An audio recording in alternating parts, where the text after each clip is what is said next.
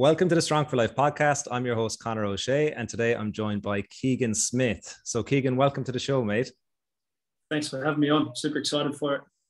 Yeah, likewise. We were just saying before we hit record, you know, I've had th- this show generally is around nutrition and uh, and fitness, and you know, I've had uh, like one of my clients is one of the top child psychologists in Ireland. I had him on yesterday as well. But when I think about you, there's just so many different things, like obviously the fitness to nutrition side of things, but then wealth and travel, languages, all these things. So there's, I think we're going to be bouncing around a lot today just to see where you're at. But before we jump into all that, do you want to maybe explain or give a quick overview of, of who you are and what you do?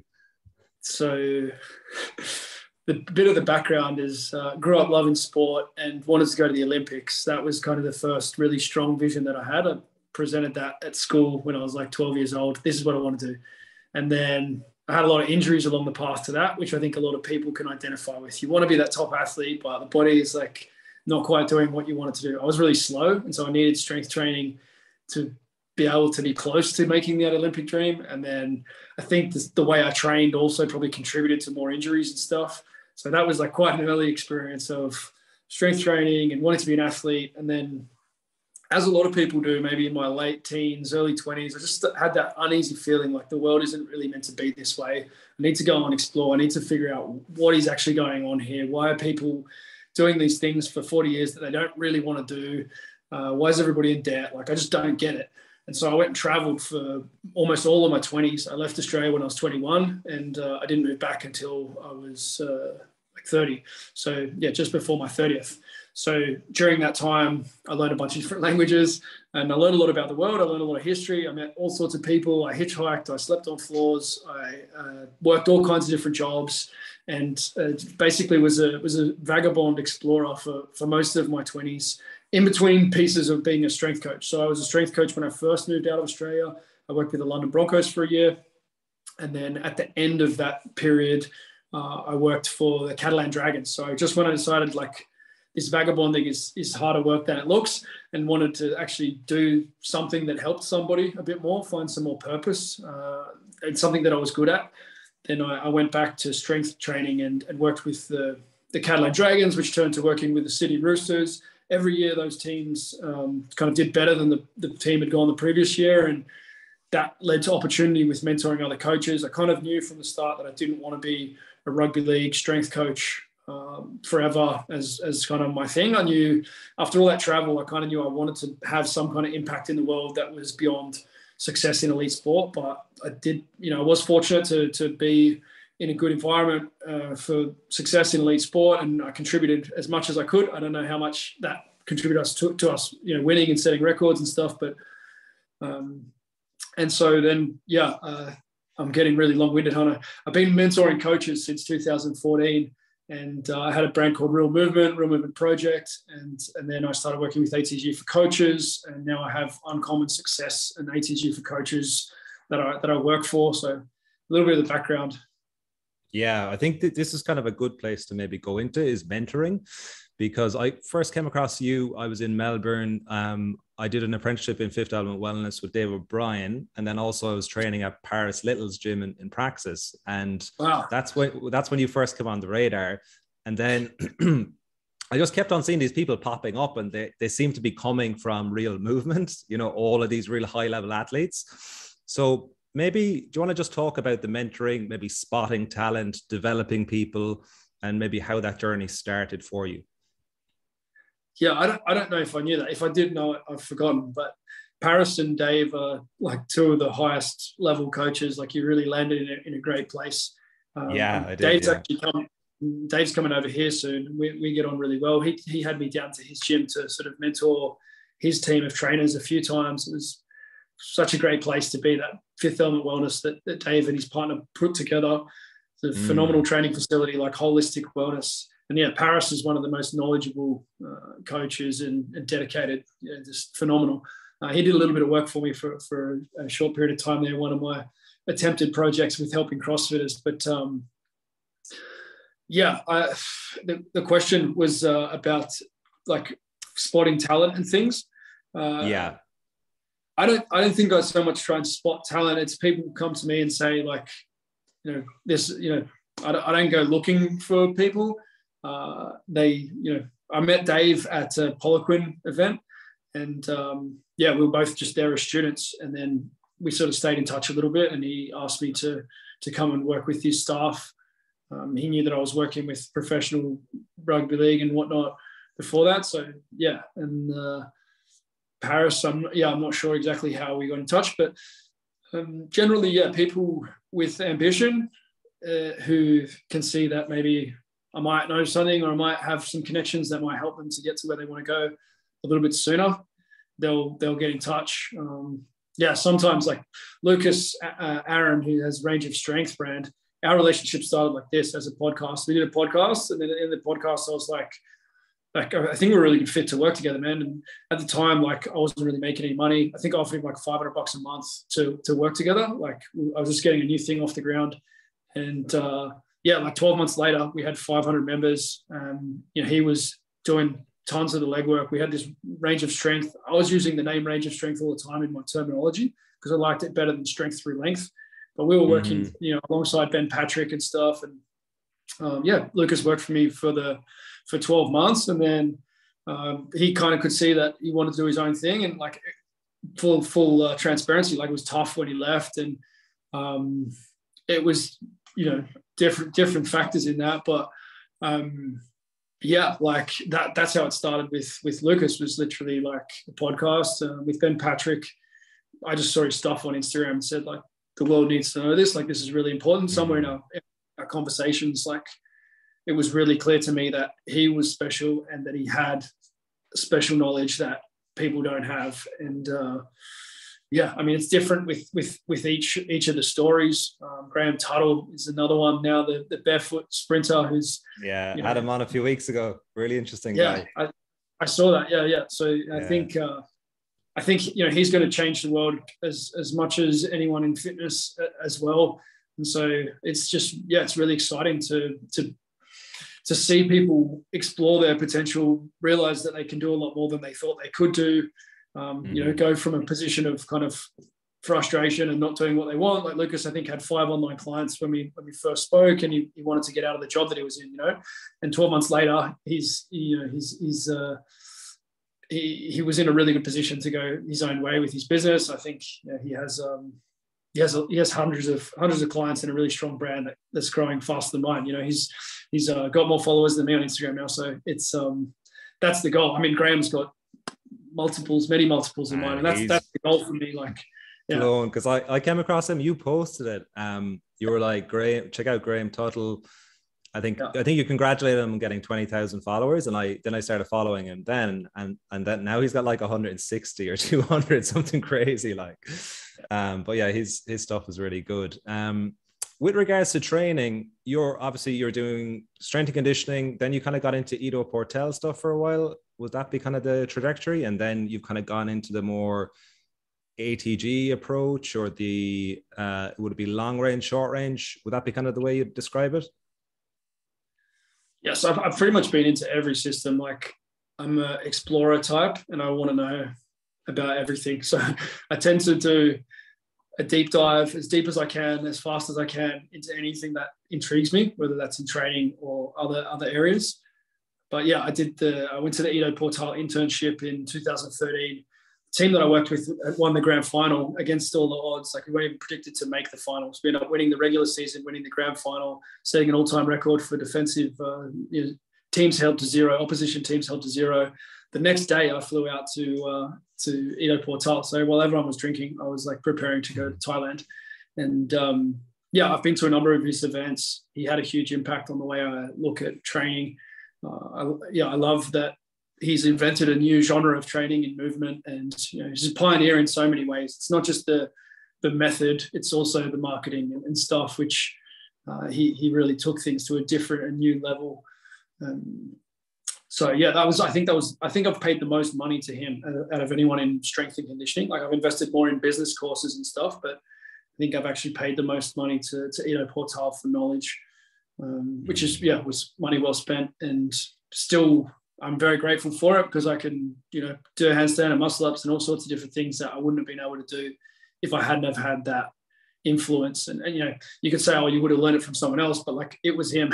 He's the one who put it all on the map. Um, mm-hmm. You mean there was gymnastic bodies as well. I did, I did a bunch of stuff with Coach Sommer there at one stage. Um, but yeah, Ido did something really special in terms of the way he got it out. I mean, so did Coach Sommer as well, to be fair. Um, mm-hmm. In terms of yeah, like I was really into the Poliquin. I was really into everything, to be honest. Like I, I love so many different systems, so many great coaches. Um, Pavel Tsatsouline and Dan John stuff has had a huge impact on me. There, there's a lot. Uh, when I when I came across Ben Patrick, it was the fact that he was using the sequence of Poliquin movements and valuing them differently to anyone I'd ever seen. So people say, oh, it's just the Poliquin stuff. It's like saying a cake is just made from sugar, flour, and eggs. It's like, yeah, okay, but someone's going to pay a thousand dollars to go to a Michelin, you know, three star restaurant to have that sugar, flour, and eggs, and another person is is going to make some lumpy thing that no one wants to eat, which would be what I would. I'm not a cake maker. Um, it's it matters how the things are sequenced, how it's put together, how it's delivered. Like all of those details are what make a and, and Ben. It was clear that his training system was taking things to a new level, and since then he's taken fitness marketing, fitness business, app, app development, custom app development, which is about to come online. He's taken a, coach support in the pulse of ATG is like absolutely phenomenal. Like he's taken so many things to a new level that I haven't seen. I've been in everything. I've looked at everything. I've bought everything as much as you can. Uh, and there's been nothing anything like uh, Ben Patrick in the fitness world as far as I've seen. And, and Graham Tuttle was actually pretty pioneering. It's I think he's going to add some different flavors to things as well, which is just super exciting. It's just great. It's great seeing people take a unique approach to things and, and execute and win. Um, I would say the best coach at using that long and short range would be uh, Nico Di Paoli, who's also an ATG for coaches coach, uh, yeah. motion motion guy. He's I'm building a village. Programming. Uh, I've been doing this programming for the last like four months. That's what I because I, I would like you to maybe explain the short and long range in a bit more detail because yeah. I've been I've been following his programs. I think they're brilliant, but I still don't completely maybe grasp the concept. Um, but yeah, yeah, he's he's and he's another one of your kind of uh, he's kind of learned a lot from you over the years. Would he have? He, he worked for me for a little while, maybe a few months when I was just trying to get real movement off the ground again, like a bit before Lucas. Uh, and yeah, like we were talking about everything goals for life, building apps, um, training systems. And yeah, Nico's like, he's executed what I would execute if I was good at the details of execution. like he's done exactly what I would have done. Um, it's it's the best like representation of like real movement training system uh-huh. is is like kind of what he's done. And he's he's got his own flavors and his own details and he's gone in different directions. Like full credit to him. But if, if there was one person who's like nailed what I wanted to nail it's it's Nico. Um, mm-hmm. and and he's got his custom app and stuff as well which just you know keeps getting better.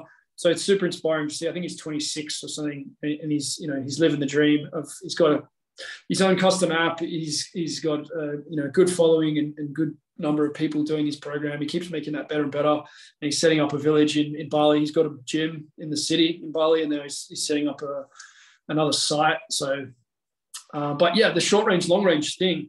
The best way to understand it, if you don't understand it yet, is to go to my YouTube and watch the like the videos about it. There's sort of like 20 minute videos that break down all the things in a way that I'm not going to be able to right now. Yeah. Um, but there's there's videos there about tension as well, which is like a key concept that I don't think strength coaches are thinking about as much or as well as they they could.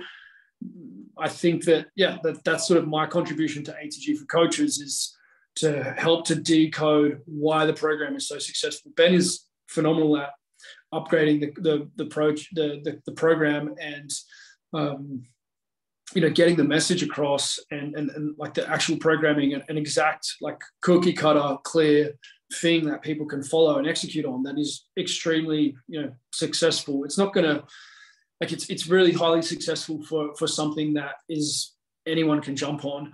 Um, mm-hmm. my role within the system has been to explain like why why why is it so much better than everything else that we've seen? Like so much so that there's just thousands and thousands of people who've said this changed my life. I worked on this for so long. I had these surgeries and did all these things, um, and this was the thing that worked.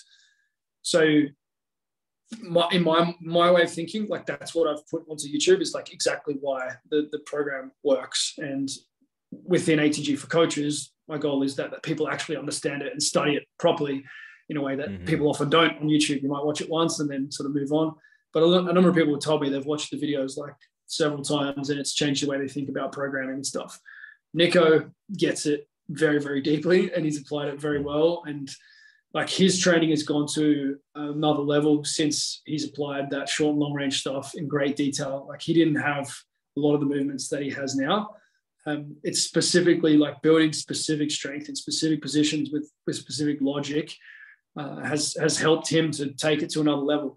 I'm not as dedicated to my training, like full transparency. I love business so much. I've you know had family. I've been moving around. I haven't had a gym. Like excuses, excuses. But I'm not like I'm not the best proponent of my own system. I'm okay. I'm training, but I'm not like him and Ben are like applying, and Lucas as well. Like they're applying their own stuff phenomenally well. Um, I, I plan to do that over the next little bit. In a nutshell, though, to answer your question, short range, short range is when the muscle is in a shortened position and and and you're you're uh, you know flexing the muscle. So if I was like laying forward on bicep curls, like spider curls, then that would be a mm-hmm. short range movement. Even if I'm letting the elbow, even if it's full range of motion, full range of motion actually means nothing to me. It, it matters like where the movement is difficult. So in a spider curl, the movement's difficult at the top when the muscle is short. What that means is mm-hmm. you're going to have a, a, a strong muscle mind uh, connection the neurological gains are going to be strong, but the structural gains will be lesser. Now, if you do a lot of training, you still get structural gains. But compared to laying on your back and doing incline bicep curls or laying on a flat bench and doing curls where you're getting like crazy stretch, you feel like your biceps going to snap, your pec's going to snap. When you're training like that, you're tearing the muscle to bits and it's a very different training stimulus. It doesn't matter about the weight and the sets and reps as much as it matters about the movement selection. And this is the biggest revelation in strength training in a long time. Like that's why ATG works. And coaches don't understand this. There's still the dominant paradigm in the research and from the research based coaches until recently has been it, it's you're working a certain muscle group and you need to think about the volume of work that you do for that muscle group. Mm-hmm. That's been the dominant paradigm. That paradigm is broken. It doesn't work when you're talking about, uh, especially if you're talking about injury um, prevention and rehabilitation. If you're talking about maximal hypertrophy, it also doesn't work. Um, it's just a like an archaic way. It's like black and white TV versus you know the new TVs, you know, full color, flat screen, 3D, whatever. You, you, have got when you've got better logic, you can program better, and you can get better results with less injuries, less niggles, less frustrations. I used to always get like tendonitis in my biceps whenever I started working on the one arm chin and getting quite close to it. I kind of accepted that if I, if I was going to squat more, my knees were going to hurt. If I was going to get close to the one arm chin, my biceps were going to hurt. And to like most people had accepted that, like people doing other people's programs, like that was the experience they were getting as well. Now it's not like that. It doesn't, nothing hurts anymore uh, when you when I'm using this logic. And of course, if you do go too too much volume and too much long range work, it'll hurt and you'll hurt yourself. But you know exactly why you hurt yourself and you know exactly what to do about it. So the logic of reverse out knee pain actually works at every joint in the body, like a dream. And so, you know, there's a coach called mm. Dawson Windham, uh, who's a powerlifter who's, who's dived really deep into ATG. Uh, he's pushing for world records in powerlifting. Super smart guy, does online coaching and stuff.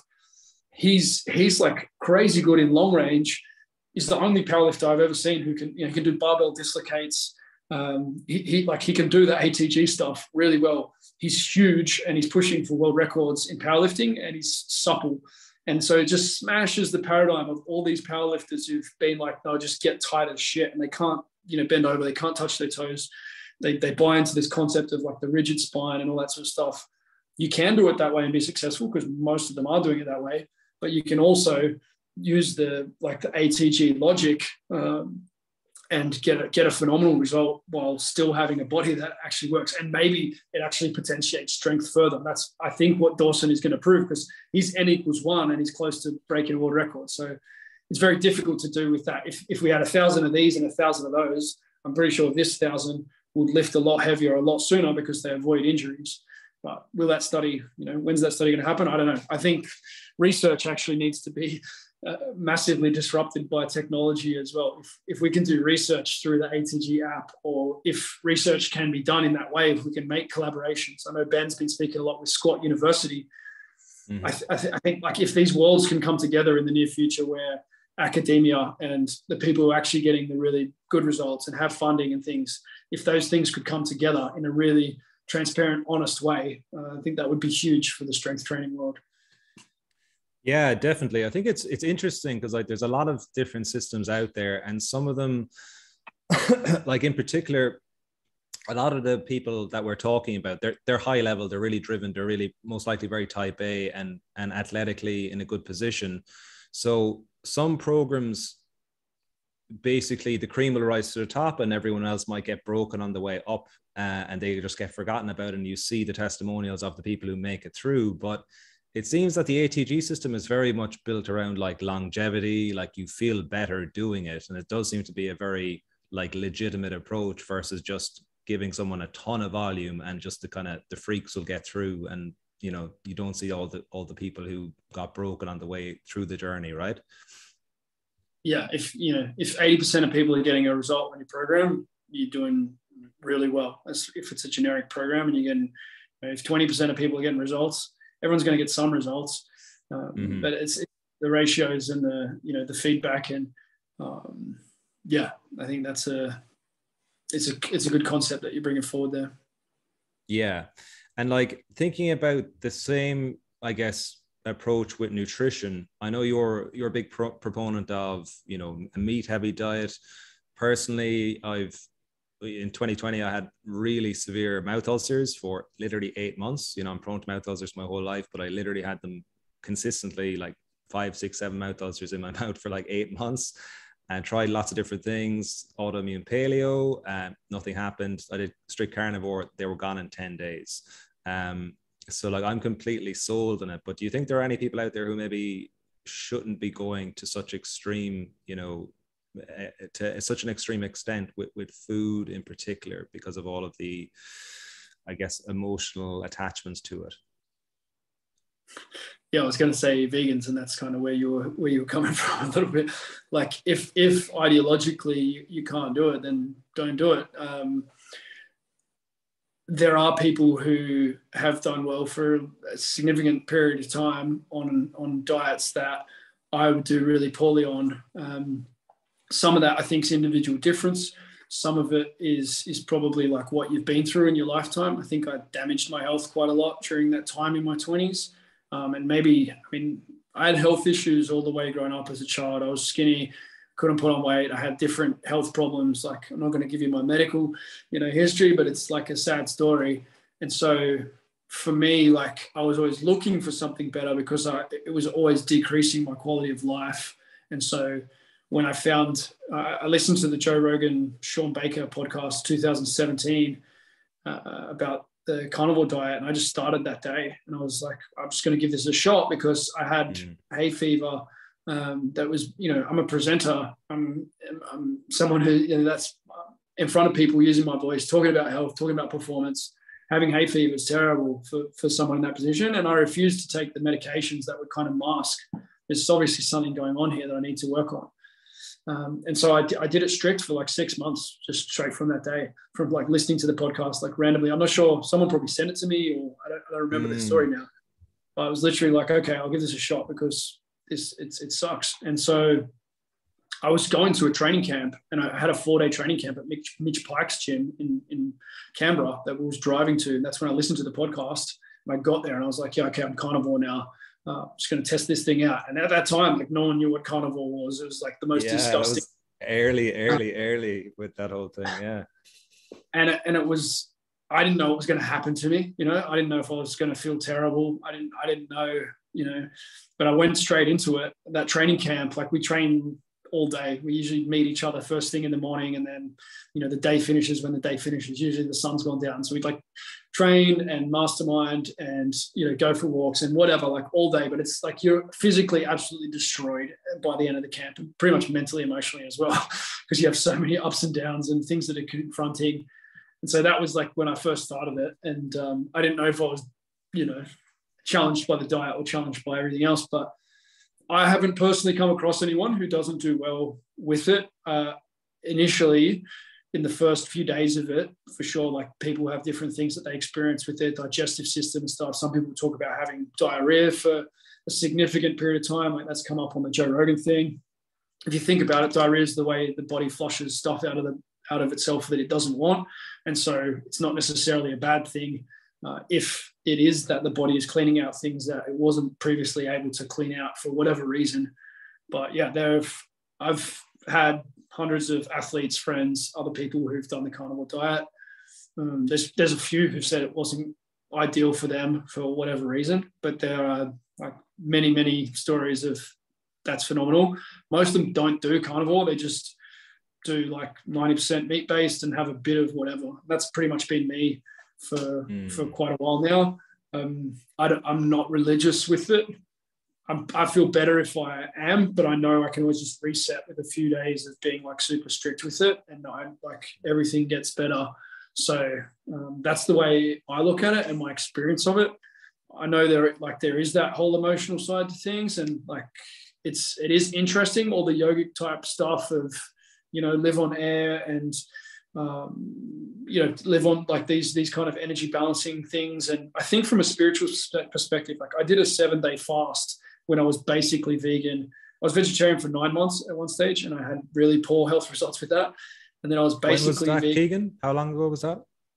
Uh, that was 2007 uh, okay. Yeah. Yeah.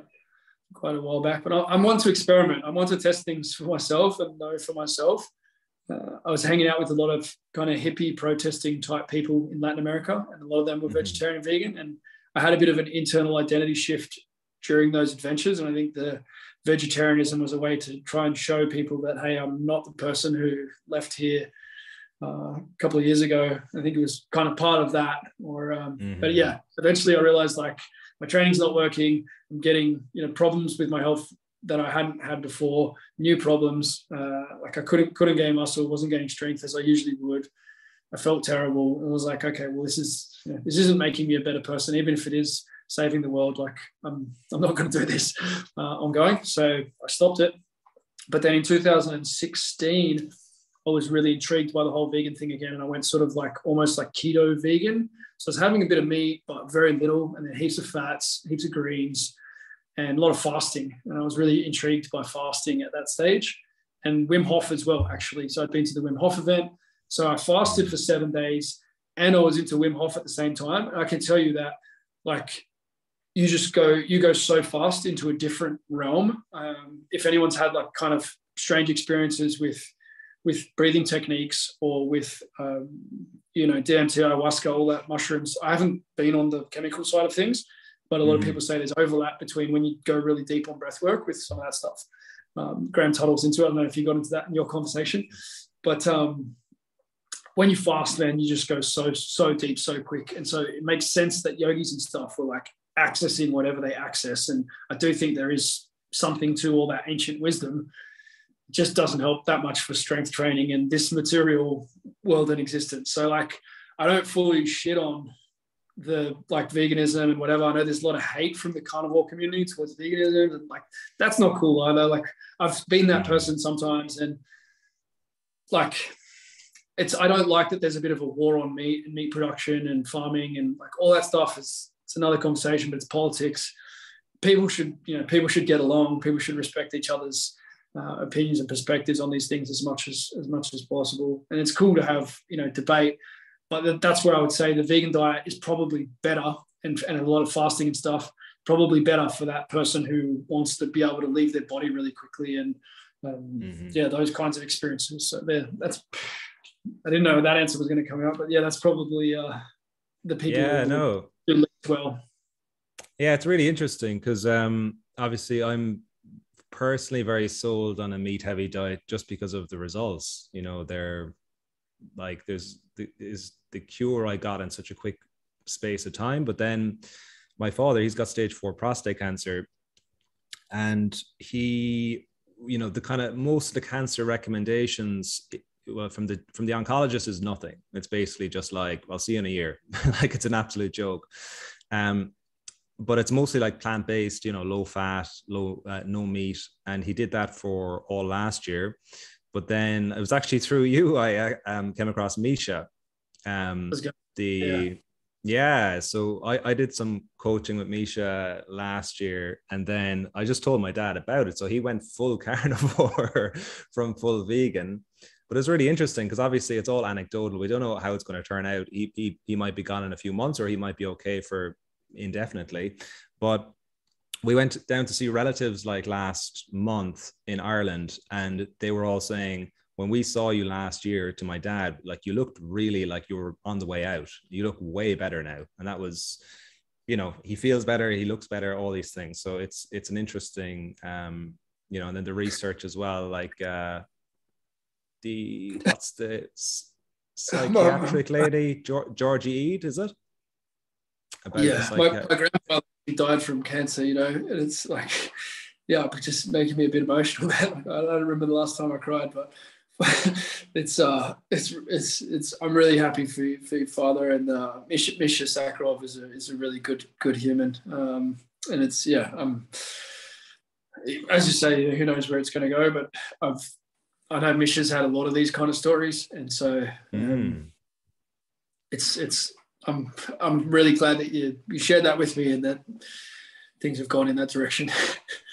yeah, man, it's the impact you can have. You know, like that's literally from what you put out there and, and actioned it, and that's actually had a, a really positive impact. So, yeah, we'll see where things go with all that. But I guess it just for me, it just it's interesting because a lot of it is definitely political around what's right, what's wrong. But when you kind of have personal experience about what's making you feel the best or the person you know feel the best, there doesn't seem to be a lot of negatives around, you know, a, a meat heavy diet for optimal health. If you are in a position where your, your health is extremely compromised, either physically or um, psychologically. Yeah, I've, I've seen a lot of really good results with it. And I'm also very interested in farming, agriculture, you know, carbon sequestration. You know, carbon is best sequestered by fast growing grass. The way you make fast growing grass is by having animals grazing the grass. If you take away the grazing animals, then you start to see a lot more soil erosion, you start to see a lot more dirt. And so, carbon sequestration, which seems to be like a hot topic, the, the most important thing you can do for it is to improve the soil quality. If you want to end a civilization, historically, one of the ways that you end a civilization is to decrease the quality of the soil. The Romans were known to salt the earth of the people they were fighting against, so they couldn't produce food, so they had to submit and, and buy into the food supply. Uh, this is this is something that has strong historical roots. That we need healthy soil, and so healthy soil is actually a key part of this conversation as well. And yeah, it gets it gets complex and it gets uh, it gets deep in terms of what is actually going on with the environmental agenda. At one stage, was about mass extinction of animals. It was about poisons in, in the rivers, in the oceans, and poisons in the food supply and the environmental discussion has become something about what the combination of gases are in the air. Um, and, and we've forgotten, or these other parts are not really much of a part of this environmental discussion. And these are the probably the things that I'm most interested in discussing: mass extinction, poisons in the food, poisons in the water supply. Um, I think we should consider what we're doing with all of that, burning plastics, um, pollution in, inside the cities. We know that pollution in cities you know, is killing people. Like people die younger because of air pollution. Like these are huge issues. Um, the, how much carbon is, is in the air is, is a different kind of conversation, and uh, you know I don't think it's as important as the other one. So yeah, like all of these things need they need to be discussed. I'm not the world expert in anything. I'm, I'm a curious person who's trying to live really well and trying to help athletes live really well, and, and now like you know more generally more people, um, whatever whatever works for that. I, I'm I'm interested in, and yeah, I'll explore all sides of it. So if meat's really good for people who are sick, but it's not good for for the planet, okay, well let's like how do we what's the what's the discussion here? What do we need to do? Um, but there's clearly been some agenda about meat demonizing meat production, meat for health, meat for land, meat for gases. Um, this, there's a lot of stuff there that doesn't quite add up. The, the deeper you go into it, the more it seems as though there's some other agenda. Who knows what it is, but it's not. Uh, it doesn't seem to be about health or about the environment when when you go deeper. As far as uh, as as my experience, my research shows. Yeah, yeah. Like you, you kind of touched on helping people with regards to staying or creating freedom for people. Uh, I think we'll shift gears into more like the wealth and travel side of things and crypto side of things. Um, because as a personal trainer, it's you know it's a very high dropout rate first and foremost. I think it's like seventy percent dropout rate in the first three years. You really have to be self-employed if you want to actually make a legitimate income and stay in the industry. It's very hard to just be basically on minimum wage in a gym. So something that I think you started talking about and, and started helping people with, which I think is really, really beneficial for myself included, is just around wealth generation and thinking more long term about creating something. Because if you're a self employed PT, uh, you're only getting paid when you're showing up. There's no pension plan, there's nothing like that in place. So, do you want to maybe just riff on that for a bit about kind of your kind of when, when this all started and the goals going forwards?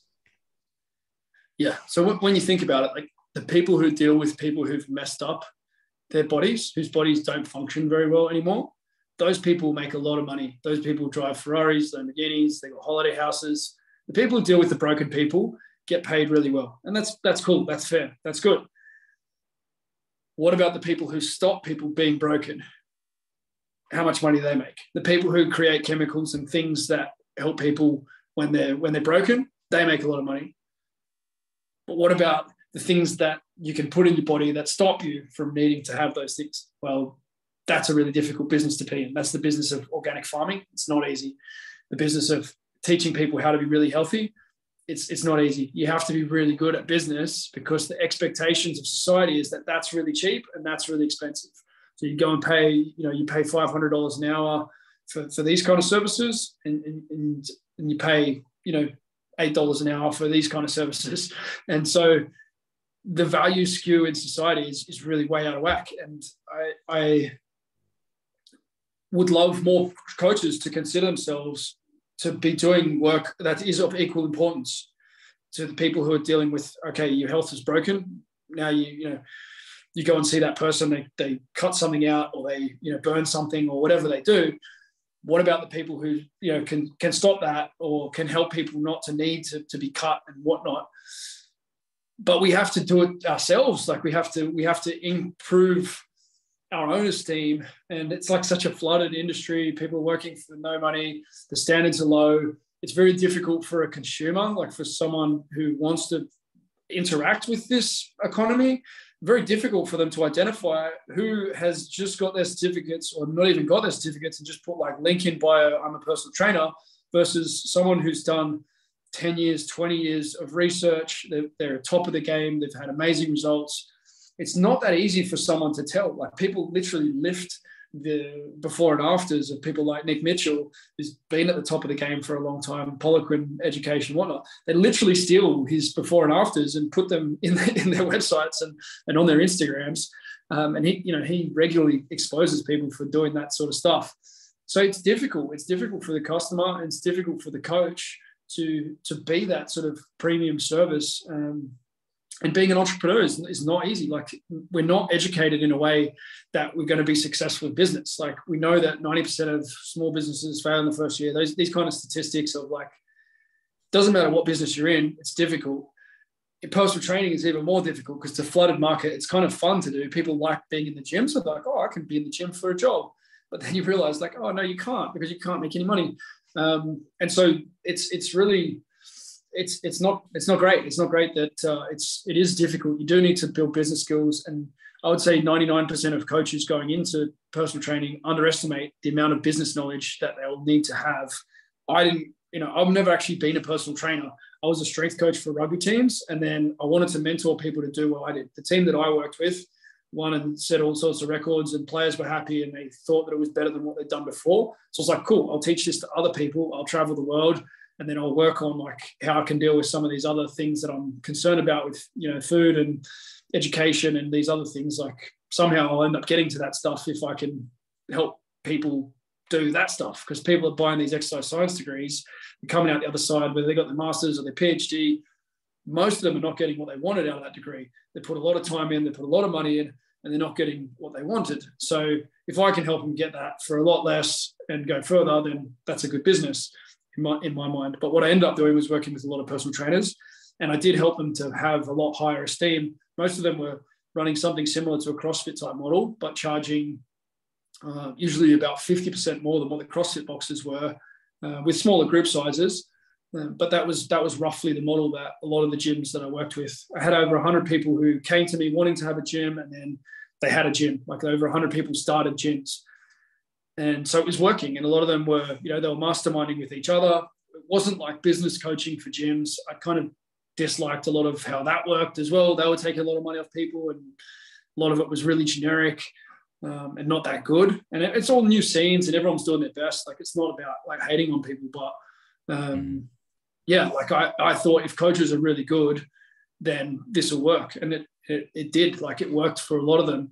My issue was that I couldn't see how it was going to scale and change the world because unlike CrossFit, like I didn't I didn't know, like I didn't create a brand that people were branding around. So it worked for coaches, but it was only coaches that knew about it. So it was like reinventing the wheel. Every single coach that I worked with, it wasn't really creating a cumulative effect like I like I wanted. So um, that was kind of why I, I slowed down with with real movement. But yeah, man, like it's helping coaches to to get a great income and to deliver a phenomenal service and to really hold themselves in high esteem and value themselves as business people, value themselves as, as service providers. Like I, I, I, love that. You know, I, I love that. Uh, I love that I've been able to do that with a lot of people, and I want to do it with a lot more. Yeah. For coaches listening, for myself included as well, what sort of advice would you give from a maybe just more thinking a bit more long term from a wealth generation uh, point of view and just kind of setting yourself up for the best possible outcomes moving forwards. Yeah so the thing probably the biggest revelation in the last few years one of my biggest learnings is that it doesn't matter how much money you're making it's irrelevant to whether you become wealthy or not. And that sounds ridiculous because it's like everybody knows if i made another five grand a year, then I could start investing and I'd start becoming wealthy. But the thing is, everybody feels like that all the time. So everybody thinks they're $500 a month away from being in a good position. I've, I've seen that over and over again. Doesn't matter how much money they're making. If they're making another $500, if they're making another $1,000 a month, then they can start becoming wealthy. And it just doesn't work. That day never comes. It's like tomorrow I'm going to start my diet. Tomorrow I'm going to start my training plan. No, start today you can start becoming wealthy today if you make the decision that some of what you earn stays with you forever. And this is like a concept that was completely foreign to me. The idea that you have to buy stuff with your money that you plan to never sell. And so if, if you consistently buy things that you will never sell, then you become wealthy. Like by definition, if you buy things that massively decrease in value, over like if everything that you buy goes to zero in value, then it won't work. But what are the chances that everything that you would buy, if you did decide to become wealthy, chances that everything that you buy is going to go to zero is, is pretty low, unless you put it all on, you know, NFTs and the latest fad crypto. And you know, you could probably find a way. But if you have any kind of logic of like any of the things that anyone who's advised over wealth, like I'm not a wealth advisor, I'm, I'm, this is not financial advice. I'm a strength coach, washed up strength coach, is doing his best to same as everybody else. Uh, but it's like logic of like, and it had never occurred to me. Like this is logic that came from a multi-millionaire, successful, you know, serial millionaire mentor uh, who had uh, he's 70 now, as he's an Australian who decided to become financially abundant when he was 40, and he's been teaching other people. Four years later or something, he was a millionaire, and he's been teaching people how to do it since then. And he's the wisest human that I've come across. And that's what's uh, his name? Paul Council. Oh yeah, I've heard you talk about him. Yeah, so we, I started working with him. A friend of mine told me, "Hey, you need to check this out with this guy." And he, and he, he sent me these tests to do. So one of them was like a spiral dynamic test. The other was a genius typing test. And so it's like to learn about yourself. I'm like, yeah, yeah, I've done all this sort of stuff before. Like, just filled it out, but like I was really like it took me a while to fill it out and then like i didn't really care about the results. I didn't study them that well. Then i had a call with this man. I was like oh shit. I really uh, i really should have prepared for this because i'm like meeting i met the the most you know wise human that i've uh, come across and he knew me better than i knew myself and it just like shocked me. Because i thought like i've been researching everything. I'm a, I'm a research you know lover I've been researching everything I could about money uh, for about a year at that stage because I decided to become wealthy about a year before that because I had financial stress. We bought a house, we renovated. We, we what year was this? To be more detailed, uh, 2017, I bought a mortgage. Uh, that was my dream location, like retreat on the hill, have people come, have an amazing experience, change your life, you know, go back to where you come from in the country in Australia. Like this was, I'd been talking about it for three years or so at that stage. And that was like my big dream was to have three locations like that around the world where I could go to and people could come and we would do these things and it would be good times, you know, ice bars and round the fire and all sorts of conversations, as well as like training super hard. Uh, and I've, I've been doing those experiences over and over again, but I felt like if I had my own physical location, it would be better for the brand, better for the experience. And that's like all I could think of to do with money was to do that. And I'd saved some money at that point. Like I'd been more successful in business than I ever could have imagined. And I thought, I want to put, you know, this is what money's for, is to make the world better. Like, let's put it into this. And then, uh, yeah, the cost of the renovations blew out. And then the negativity of all the things that were going on financially, like negatively impacted the business. And I made a few decisions that didn't really pay off. I tried to start a franchise of gyms um, that, that didn't do what I was thinking it was going to do, did what it needed to do, but it didn't do what I, what I was thinking it was going to do. And so, uh, yeah, like 2019, I decided, okay, like I have to become wealthy. Like this is bullshit. This is getting in the way of my quality of life. If I apply myself and learn about wealth in the way that I've done to training, to travel, to languages, to other things, like I'm sure I can do this. I just need to make the decision. And so I did. I invested like 45 grand in a, in a program uh, with one person and then I just kept researching, kept learning. And um, yeah, like a year later, I met this Paul, and I was like, well, this is the best uh, thousand dollars I've ever kind of paid. And I, and I asked him on the call, like, okay, how does it work to work together? And I thought he said it was 15 grand a month.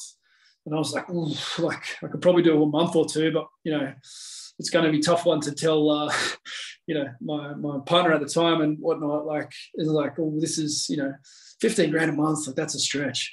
Um, and uh, it turned out it was only it was it wasn't that much. I'd, I'd, like misheard him, or I don't know if he said it differently or whatever. But uh, yeah, I started working with him one to one, and then I was just having these phenomenal conversations that I didn't know, all sorts of things I'd never thought about, heard about, anything with, especially a lot of human psychology stuff. Uh, like he brands himself as money money mastery mentor, and you know brands around money, but it's actually a lot about human psychology and, and how the world works, and uh, as well as money and business copywriting and all that sort of stuff. But so after a few months of that, I was like, okay, I need to tell my friends about this. And so 40 of us went on a 12 month journey with him. Um, Graham Tuttle was one of them. He's probably the star student, um, rugby rugby uh, conditioning coach. I think he's the Graham rugby Tuttle develop- is the barefoot guy, no? Yeah, yes, yes, exactly. Yeah, Graham was the star student of the rugby development oh. coach.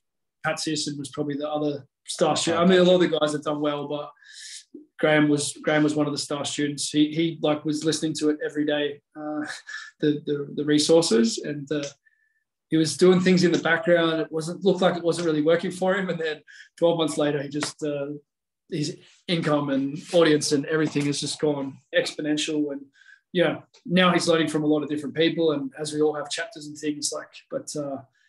Uh, yeah, that was the the journey with with Paul, and I, it was really a case of like when the when the student's ready, the master will appear, all that sort of thing. Um, it was really like that for me. And yeah, I'm, I'm, so fortunate that a friend of mine introduced me to him. And uh, probably one of the things that I treasure most as far as my life experiences so far is to be able to interact with this person because, I mean, what do you have if it's not for your like, you know, knowledge and, and ideas and how you think about yourself and I've got a lot of work to do within the within the way that he's teaching things. Um, but I, I, wasn't aware that I had that work to do. Like the spiral dynamic stuff. If someone's like listening to this and they want to go look something up, like the Clare Graves spiral dynamic system is is definitely worth worth exploring.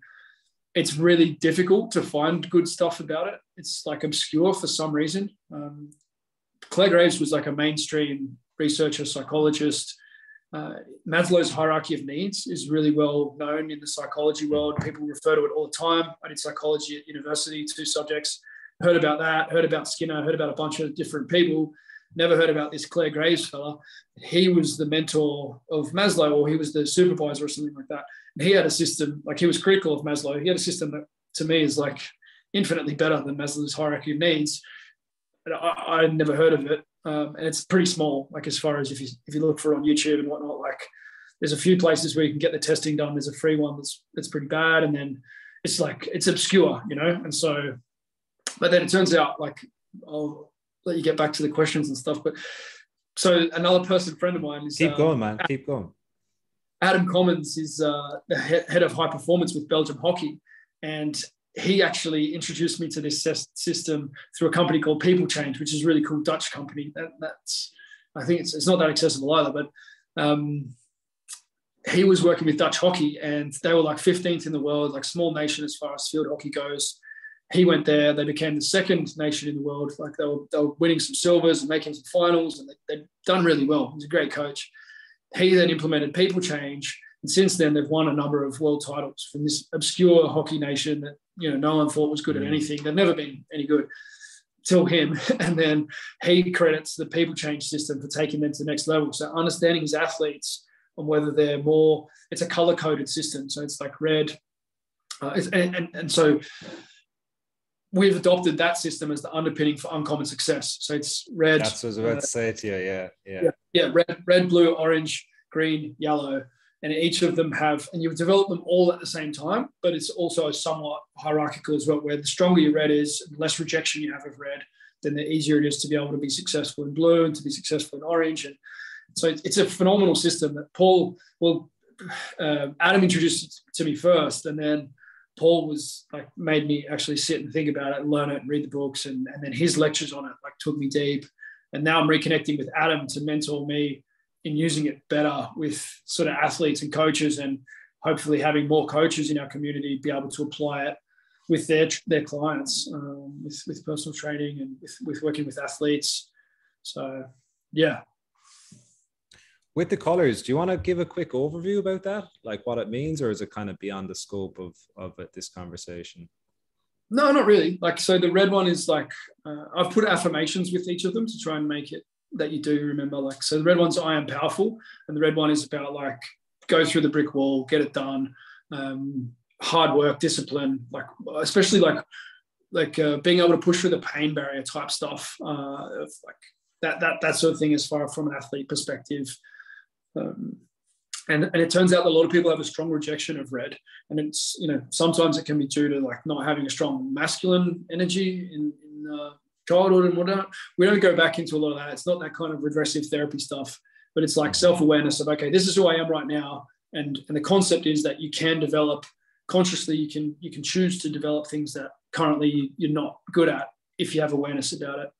Um, and that's been the foundation of Adam's success and, and kind of part of Paul's as well is like people can change if they know where their blind spots are and if they're coached towards challenging experiences. It's all about new experiences that put you into that. So that's why uh, Uncommon Success and Real Movement, very experiential based. People think I'm a lunatic for making people, you know, juggle and do handstands and things like that.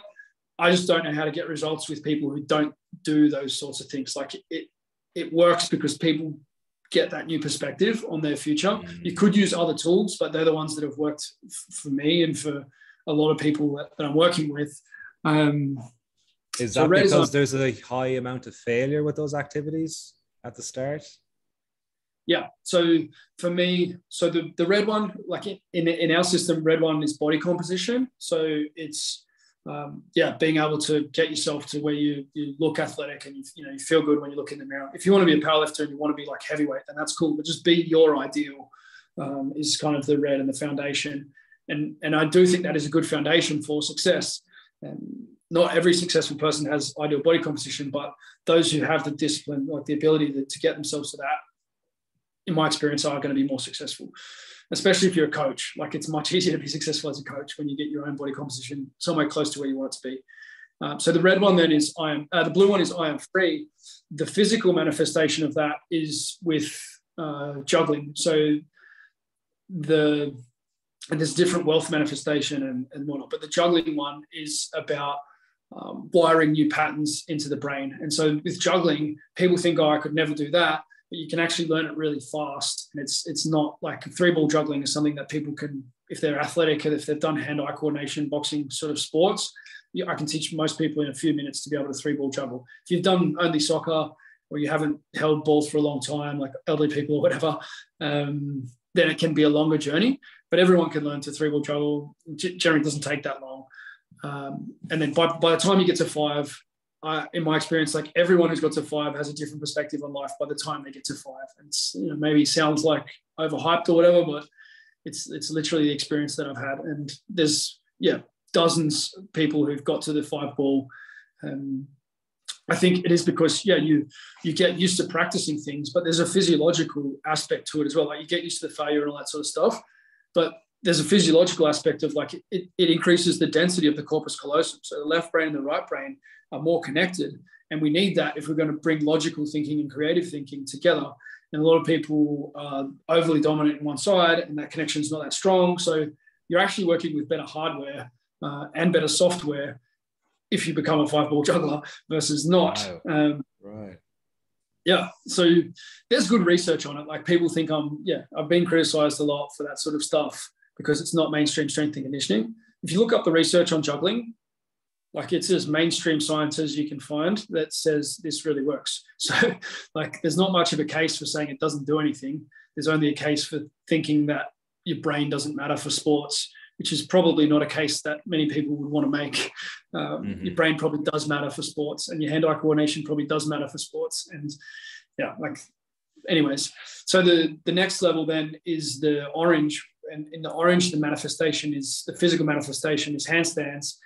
Handstands goes orange is more like entrepreneurial, blue's like more following rules. And so blue's about in wealth, it's like rules for wealth. So you've everyone's understood the rules for poverty, or they've not understood, but they've applied the rules for poverty because most people, the majority of people in the States, the US, don't have $500 to meet immediate needs without going into debt or asking someone else money. Like they don't have $500. The majority of people in the richest country in the world do not have access to $500 without, like they just, they don't have it on deck. So we're good at being programmed to have nothing, but we're not good at programming ourselves to be wealthy. So that, that's, that's a programming thing um, of, of following rules. So there are rules for wealth, there are rules for poverty. You choose which ones you want to do. Fully on you. If you want to keep doing what you're doing, fine. If you want to follow rules for wealth, here they, you know, here they are. They're not mine. I'm just going to refer you to people who I've learned from who are much smarter than me. Orange then is uh, I am I am value. Uh, I'm valued, and it's about like being entrepreneurial, which is in the hierarchy of things. It's more difficult than being able to run through the brick wall and being able to follow the rules. To, to be uh, an achiever and to be uh, entrepreneurial in, in the in the sporting sense, it's like going after it and winning. Where red would be like boxing, where you just knock the other guy out. Um, blue, I think, is more like uh, gymnastics and stuff, where like there's the rules and you follow and it's points and that sort of stuff, of like the criteria and such. And then orange is like where you, yeah, where you go and go and win. Green would be more like a team sport. Um, anyways, the, the orange uh, physical manifestation is the handstand because business is much harder than people uh, give it credit for. They think oh, I'm a personal trainer. If I put it in my bio, if I have a website, oh, if I have a cool logo, like everything will be fine. It's like, no, no, it won't be yeah. fine. Like it's D- DM me for online training, and I'll just have a yeah, that works. works that's that's pretty much how you end up driving a Ferrari and like living life on your own terms for sure. Mm. Uh, and not that most coaches want to have a Ferrari, but so the handstand is the physical manifestation of that, where you have to be super persistent. People underestimate how difficult it is to have a 60 second handstand. If you get a 60 second handstand as an adult who didn't do gymnastics, I know that you have something about you, like you're someone who will persist through something that is uncomfortable.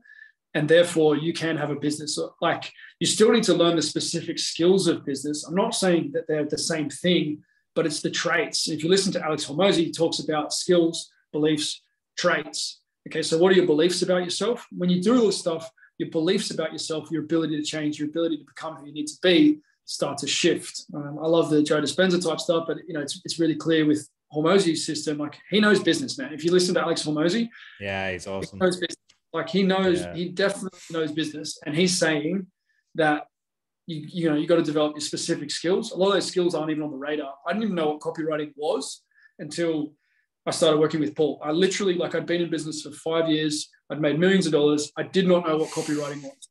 Like I did not know what copywriting was. I'd done some sales training, but I, I literally didn't know what it was. Like I didn't know about the headlines. I didn't know about like templates and and and I you know because I was I had results. Like I knew how to do what I was doing. I didn't need to know that stuff to be able to be successful to a certain level. To be go to another level, like it's it's definitely handy. Um, like like you can see with Graham, like he's really good. He's really into the business side of things, and people don't see that. They just see that like he's good with feet as well. He's good with you know he's good at his technical stuff, but he's actually really mm. and oftentimes people don't know what people have been through to be where they are. You know that's mm. lifting the curtain a little bit. But the handstand is a great way to to physically manifest that persistence, and even in yoga, in terms of like brain health and mental health. You're getting all that blood flow, fresh lymph, all that stuff. Like there's a physiological argument for inverting as well that has long historical roots um, balance centers, all those sorts of things. It's not complete woo woo. There is, you know, there is some stuff there physiologically that probably going to do good things. Um, and if you can persist through discomfort, it's not going to be comfortable. I think you can probably vouch for this. It's not comfortable all the time to be a personal trainer and to build a business in in uh, in personal training. Building any business, there's going to be some discomfort to endure, and you're going to have to do some things that you don't really want to do. It's not all yeah rainbows and butterflies, right? And so the handstand is a bit like that, where it's cool to have and it's cool to be able to do, and it feels really good once you can do it. But to get there is like it's a bit like jamming your nuts in the door. Like it's not something that you wake yeah, up yeah. really yeah. looking forward to. it. Learning to show up when you don't want to. That's um that's a big skill that you yeah handstands will teach you that and businesses that's what you need to do is not just show up every day regardless yeah, and if you don't, if you're not consistent with handstands, we know because you just don't get better unless you do them like mm-hmm. pretty much every day. You have to be pretty sharp about how you go about it as well. People kind of just think they'll wing it and they'll do some every now and then, and they won't really follow any kind of technique. That person, usually two years later, they're almost exactly where they were, you know, to mm-hmm. before. So you need to like, you need to have a system. You need like that's what happens with orange, and so that's the orange. Green is then coaching other people to do this stuff. So green is I am connected, and the, a huge error for the average male is to think like I'm going to do this on my own. Nobody does it on their own. Mm. Nobody's ever done it on their own historically. No one's ever done it on their own. Apparently, there is one person who went like one Olympic, an Olympic medal or Olympic gold, who was like self-coached. But I'm pretty sure if you look into it, they would have been training with all sorts of people. They had this coach, they had that coach, they're training that squad. Um, I haven't researched that. I need to research it because I, I, put up one day and someone, like a few people came up with like one person who was self coached. Everybody else had been part of a squad, they had a coach. Everything was in their favor to win. Every massive scientific discovery, you know, when you look at Einstein's history, if you read his, his stories, he was sending letters everywhere, he was traveling, if you look at Jesus's history, you know, his 12 disciples, there's all versions of his personal history that he traveled here and he lived there, the years that are in the Bible. There's no case that I've found of anyone doing anything of any value who wasn't in, in collaboration with other people. It doesn't mean that they're necessarily like employees or staff members or whatever, but everybody wins through being connected. And, and we know this through the, the things of, you know, you're the product of the five people you spend the most time mm. with and these kind of cliches, but very few people take it literally. So I'm connected is like really acknowledging that that side of things, and and it's about being good at relationships as well. Um, which, to be honest, in my graph, the green is not the strongest. Not that lovey-dovey coach. I had trouble dealing with athletes who weren't like achiever, run through the brick wall. I didn't really get the greener type athlete, and that's you know why I'm starting to work with Adam is to be able to be more well-rounded so that I can access more of the, the yellow. So the green is literally like help someone else do the Uncom 25, which is 25 days of consecutively building something that you want to build, whether it's in, you know, any whichever color it's in. So then green is like helping other people to do it. You need to have done it yourself, and then you can help other people to do it, and that's super rewarding as well. Um, and then the yellow uh, is like uh, squat every day or, or snatch. So to be honest, like I don't really know what the best yellow manifestation is physically, but um, that stuff is kind of the snatch is like the ultimate lift. Uh, so I kind of like it as the yellow level thing, but imposing yellow on people, uh, imposing the snatch on everyone is like doesn't make much sense because it's so hard, like skill wise and mobility wise. Mm-hmm. So kind of got squat every day in there is like a, a yellow option as well. Um, and this is, I guess, also a bit like the post that I got blown up for, but you know, take like taking ownership of the world and taking like more responsibility on for uh, you know having a positive impact on the world is is the yellow is someone who's able to operate from all of these four really well and move fluidly between them and identify what profile other people are operating from in, in business and training and whatever. And they're able to move fluidly and you can't really tell which one they are because they're able to use all of them uh, really well. So this is this is yellow, and yellow are the people who can innovate and, and kind of change the world.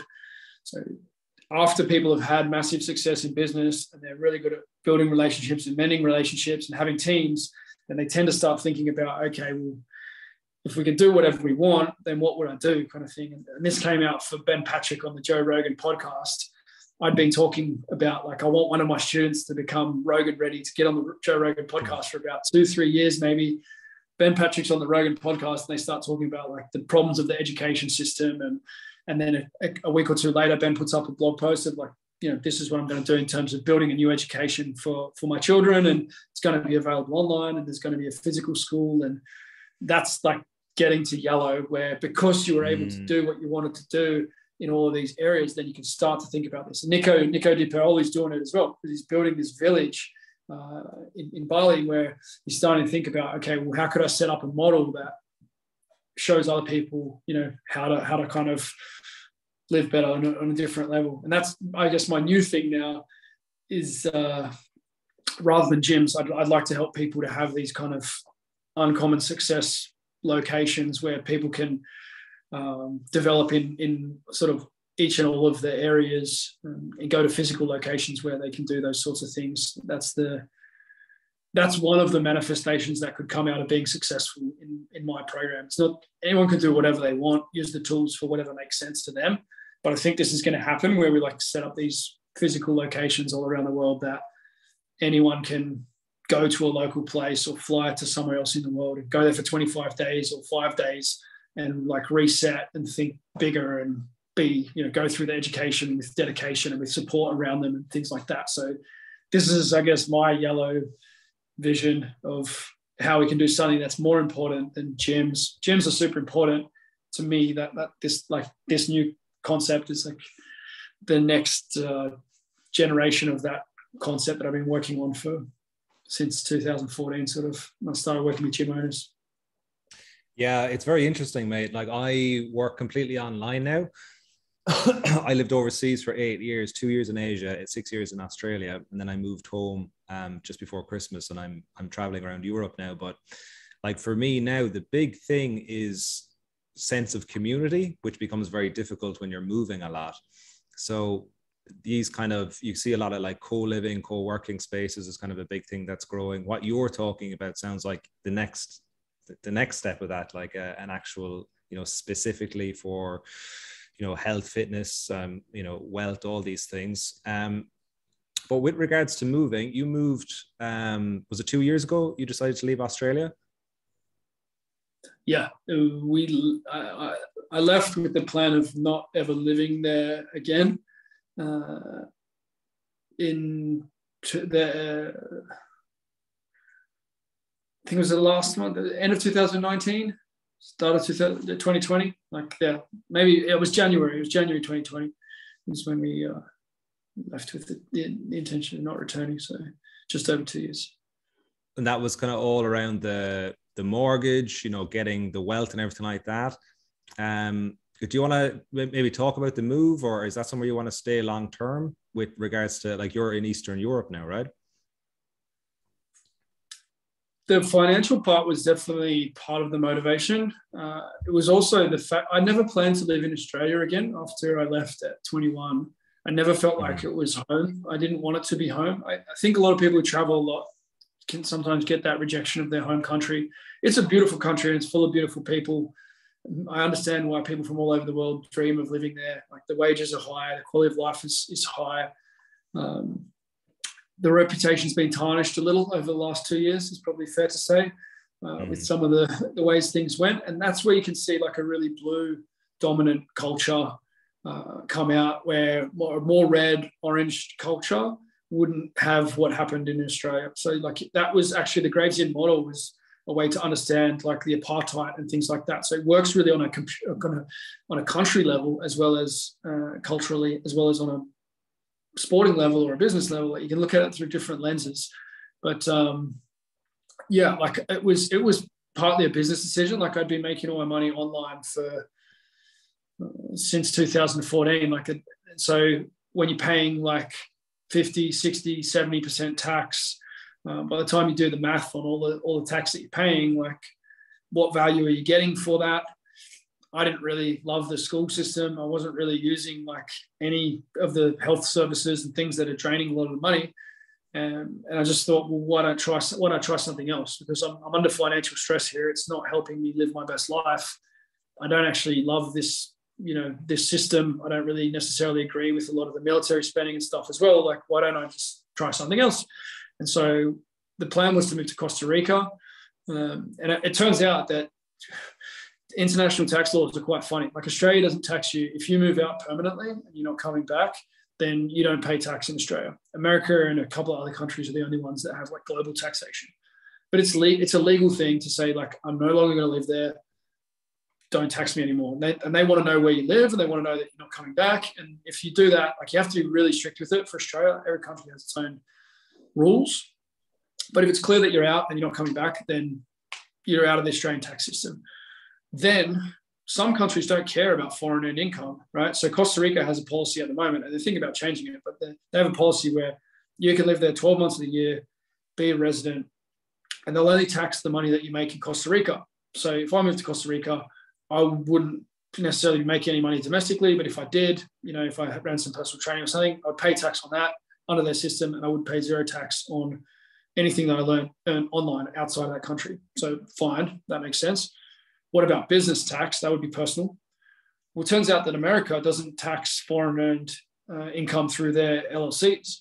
Uh, I didn't I didn't know that that was the case, but you can also Hong Kong as well. So like the some of the biggest economies, like the one next to China and and the US, they don't tax. Uh, they only tax income that you earn within that country. So if I was to go there and do stuff, like there's specific criteria about how it works, but you can have an L, a US LLC or a Hong Kong or and and you don't get taxed on that. So there's literally like you follow the rules of two different places and you you have zero tax obligation. I didn't know that the world worked like that until I started researching it in, in 2019.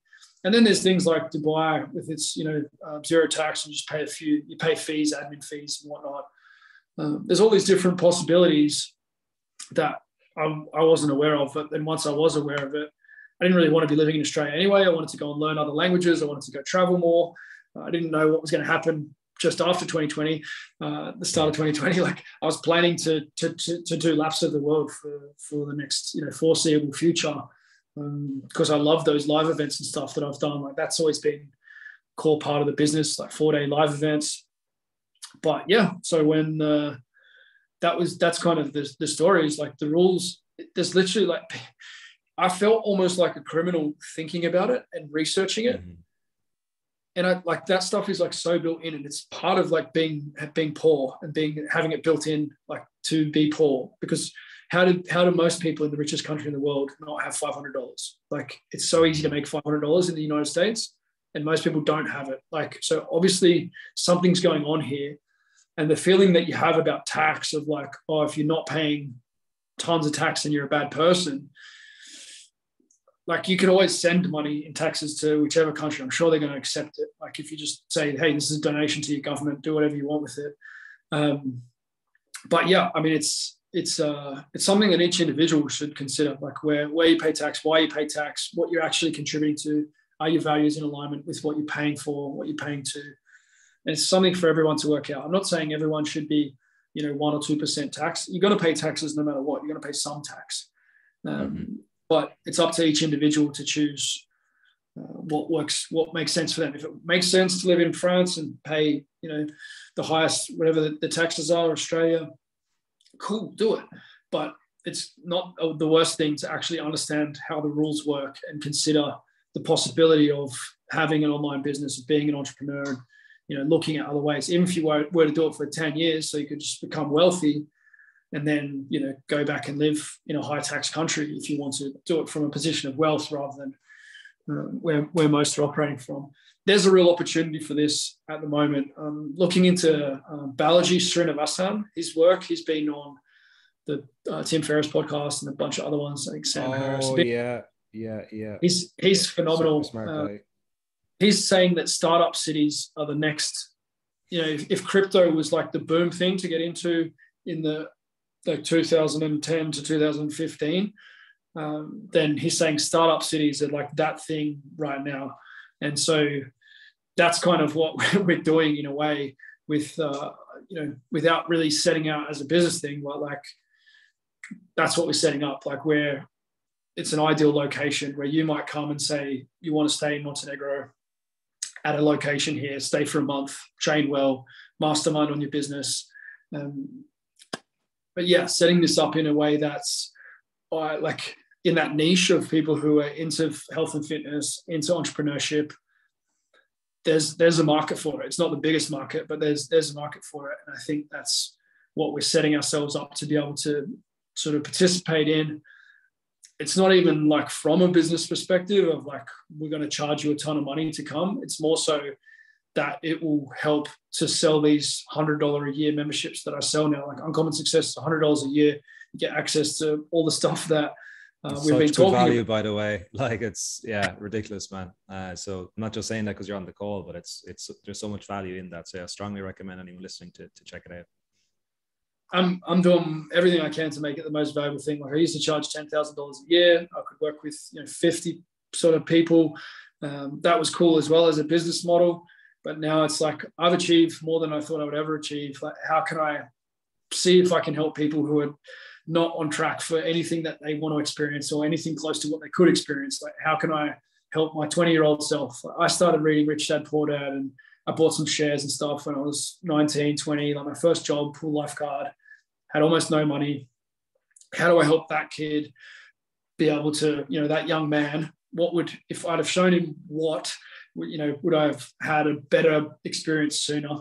And in the way that sort of Nico's had, and people that I've worked with one to one, there, there are a bunch of them who've done really, really good things. But how could I, how can I make this available to people for two dollars a week?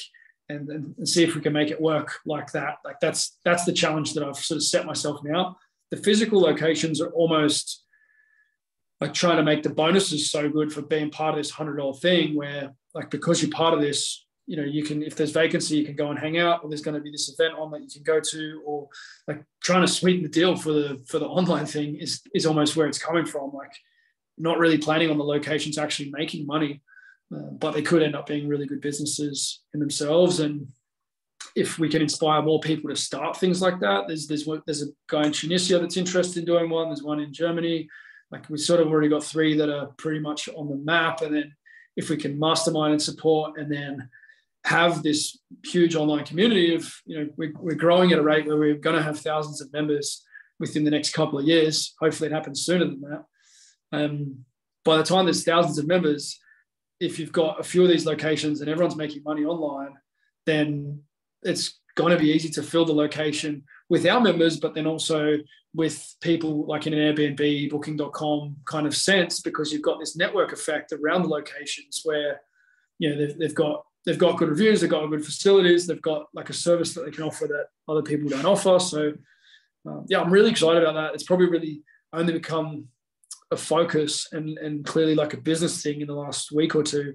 We've been working on mm-hmm. Vanuatu for for maybe six, eight months um, as like a Uncom village with its own food supply. So it's fully like self-sustaining. cattle, uh, fruit production, all that stuff is wow. is on site. 100, it's a 100 hectare site, and it's got beachfront as well to have something like the Tulum kind of gym without the ruckus that goes on in in uh, Tulum. I don't know if you've seen that gym, like mm. the beachside gym, the wooden weights. Yeah, mm-hmm. yeah, yeah. So that's like part of the vision is to have that kind of stuff and have a court, a pool. Um, but then, yeah, with the with the full food supply, I'm super passionate about regenerative agriculture. I had like 40 animals on my farm there at one stage. Uh, mm. The one that I bought in Australia, um, goats and pigs, and ducks and geese and chickens, and and uh, I, I want to do that stuff again, and I want to have uh, you know f- autonomy around quality food is something that I value really highly. Like I've had similar experiences with health and food, like yourself. So mm-hmm. uh, yeah, how can we bring all this stuff together?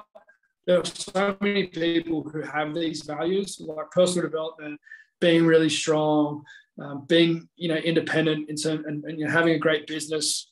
There are a lot of people with these values. So I think that for this hundred dollar a year product, that if I can get it in front of a few people, um, then it might go somewhere. Actually, feel I finally feel like I have something that's worth going on Joe Rogan because I've been talking for a while of like um, helping other people to get to the point where they're like, you know, Rogan ready. It's like a kind of a slogan thing. It's, it's kind of cheap and whatever. I, I know I come up with those sorts of things sometimes, but now I finally feel as though like this would be a huge service if, if the world knew about this thing.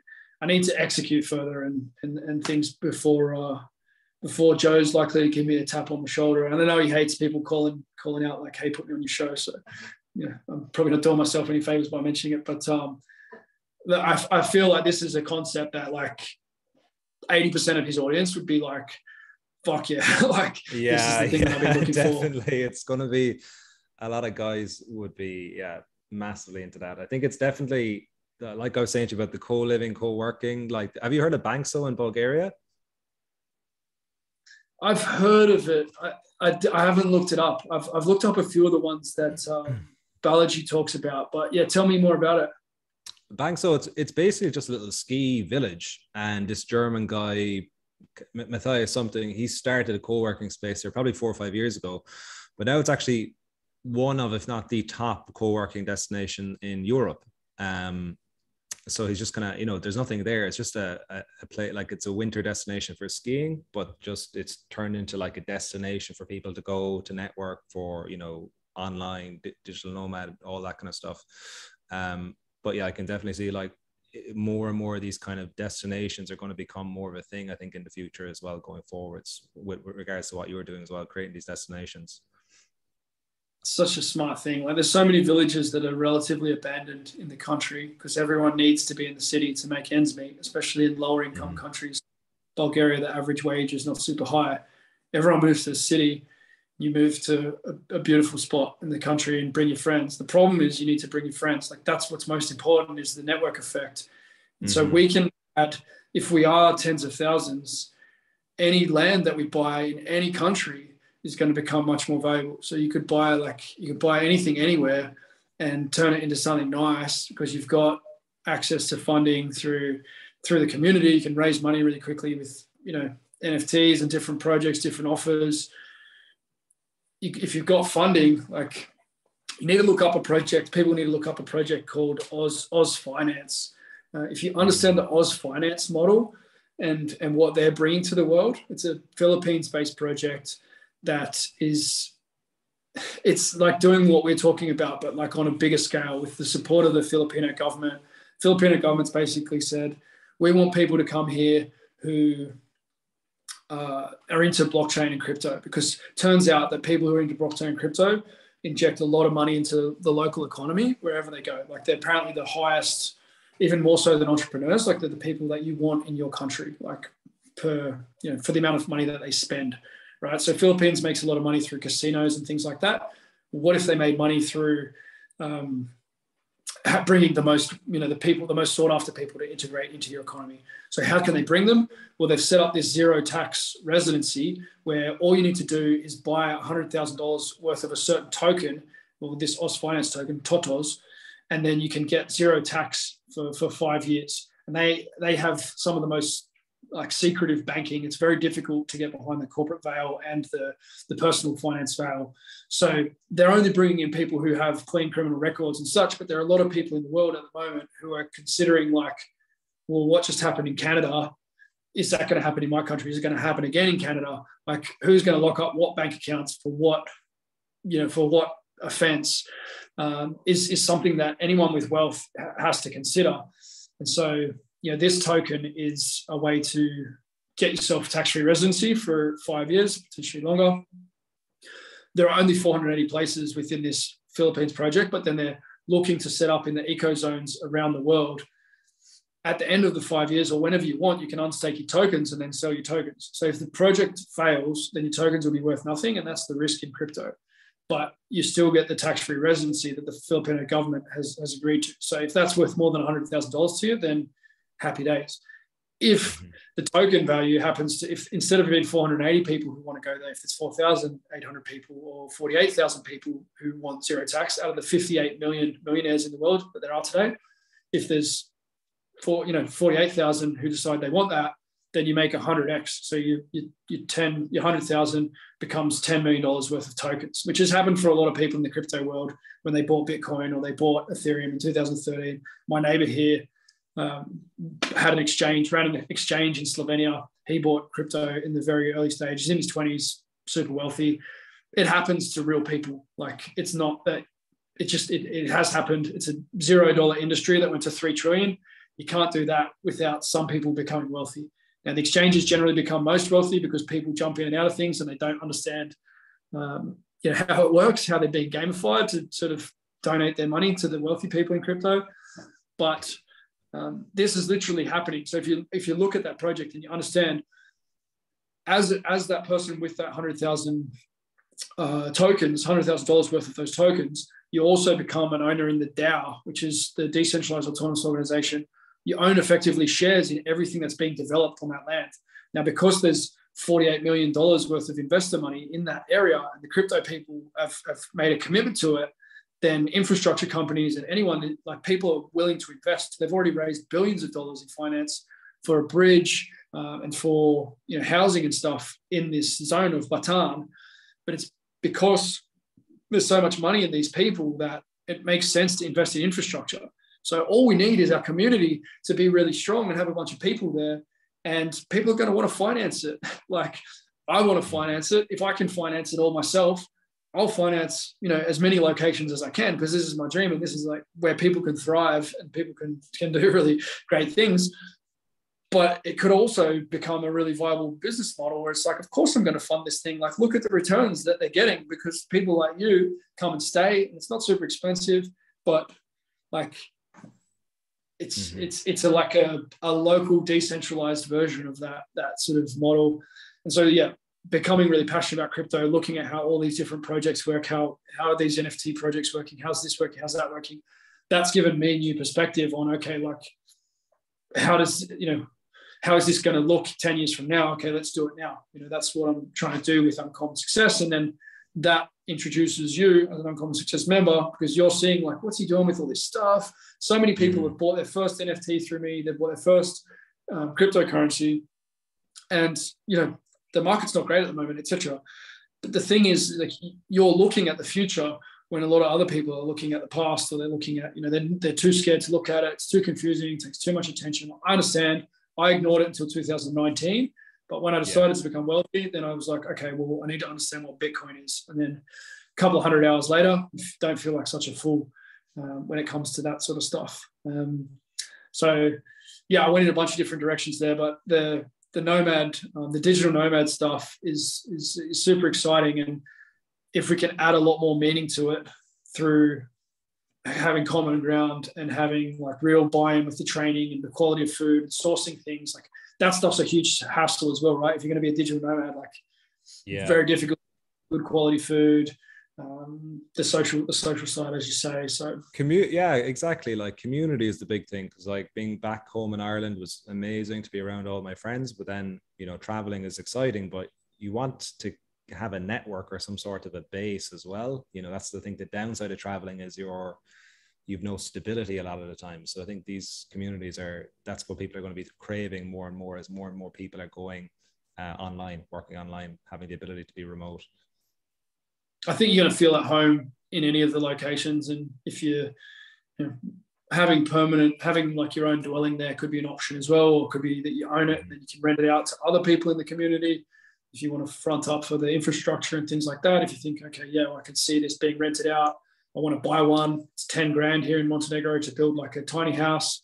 Seems mm-hmm. like a relatively fine investment versus spending what I spent in Australia to be part of, you know, um, the, the, the, numbers, the numbers are interesting for sure. Like, because a $10,000 house inside of a, a business hub where you've got your ideal training environment and super smart people go, like, what's that worth?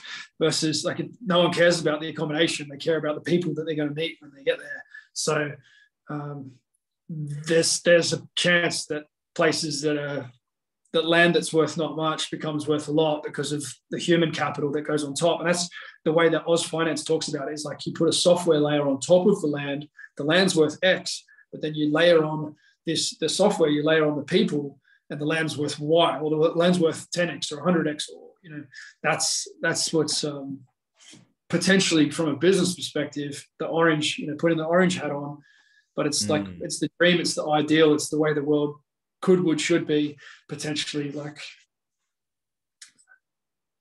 yeah, we get deep. It's very no, it's really interesting. I'm, I'm conscious of your time, mate, because we have gone over. Are you okay to chat a bit longer, or do you want to start wrapping things up? I can talk all day about this stuff, and yeah, I know I'm. Uh, I'm ask, ask you the same question, but no, oh, it's, yeah, it's no, no.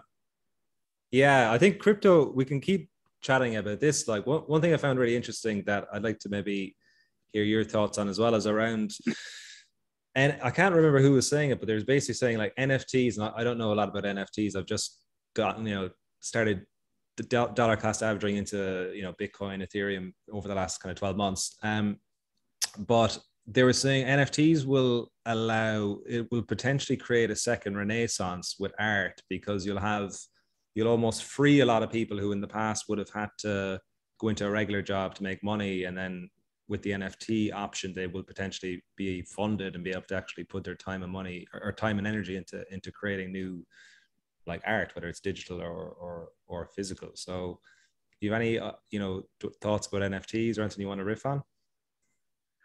Lots of thoughts on NFTs. That that could well happen because of the funding that's going towards art but I think it's the least interesting application of NFTs. I think the art side has been like the biggest distraction that's prevented people from understanding what the real renaissance could, would, should be with, with NFTs. I think if you want to understand the renaissance that NFTs could bring, um, then understanding like the, the Gary Vee project is maybe the best one to understand, like VeeFriends and the value that he's put into his NFTs he's got these little squiggle drawings, which are kind of cool because Gary did them, but like the art is the art is nothing. It's a ticket to his events, um, his his VeeCon or whatever it is over the next few years. Plus, there's a bunch of other things that are built into the different NFTs. It's not about the art. It's about changing the way seed funding is done, share distribution, like dividends is done. Um, giving your like it, everything becomes community owned, cost, like customer owned. Like Uncom is, is going to be fully decentralized. You know, within a few years, it will make zero difference whether I'm there or not. Um, and the Web three technology, this this you know the NFT layer, the social to- like the, the token that goes with the Uncom community, is how and why it can work like that. Decentralized governance as well. Um, this stuff is is going to explode over the next few years, like of having self governing uh, communities it's it's super interesting. Balaji Srinivasan is, is a good one to get into. He, he goes deep. It's it's hard to keep up with him in his podcasts, but it's well worth it. I've pre I've listened to everything I can find. I didn't subscribe to Sam Harris's one. That's the only thing that you have to pay to listen to the full episode with him. I haven't mm. done that because I've been a huge um, listener of Sam Harris's. He does great work, but mm-hmm. but other than that, I've pretty much listened to everything that Balaji said over the last four or five years. Um, Mm. And that's what I tend to do when I get into something is like I tend to go quite deep. And uh, yeah, so NFTs now, at the moment, in terms of regulation, you can't do all those things. You can't say it's like a share in the company. You can't say that I'm going to give you a dividend and, and all of those sorts of things because the regulation says that you're a bad person if you do that sort of stuff, whatever it is. Like it's not clear from a regulatory perspective in the United States, like where these things fit.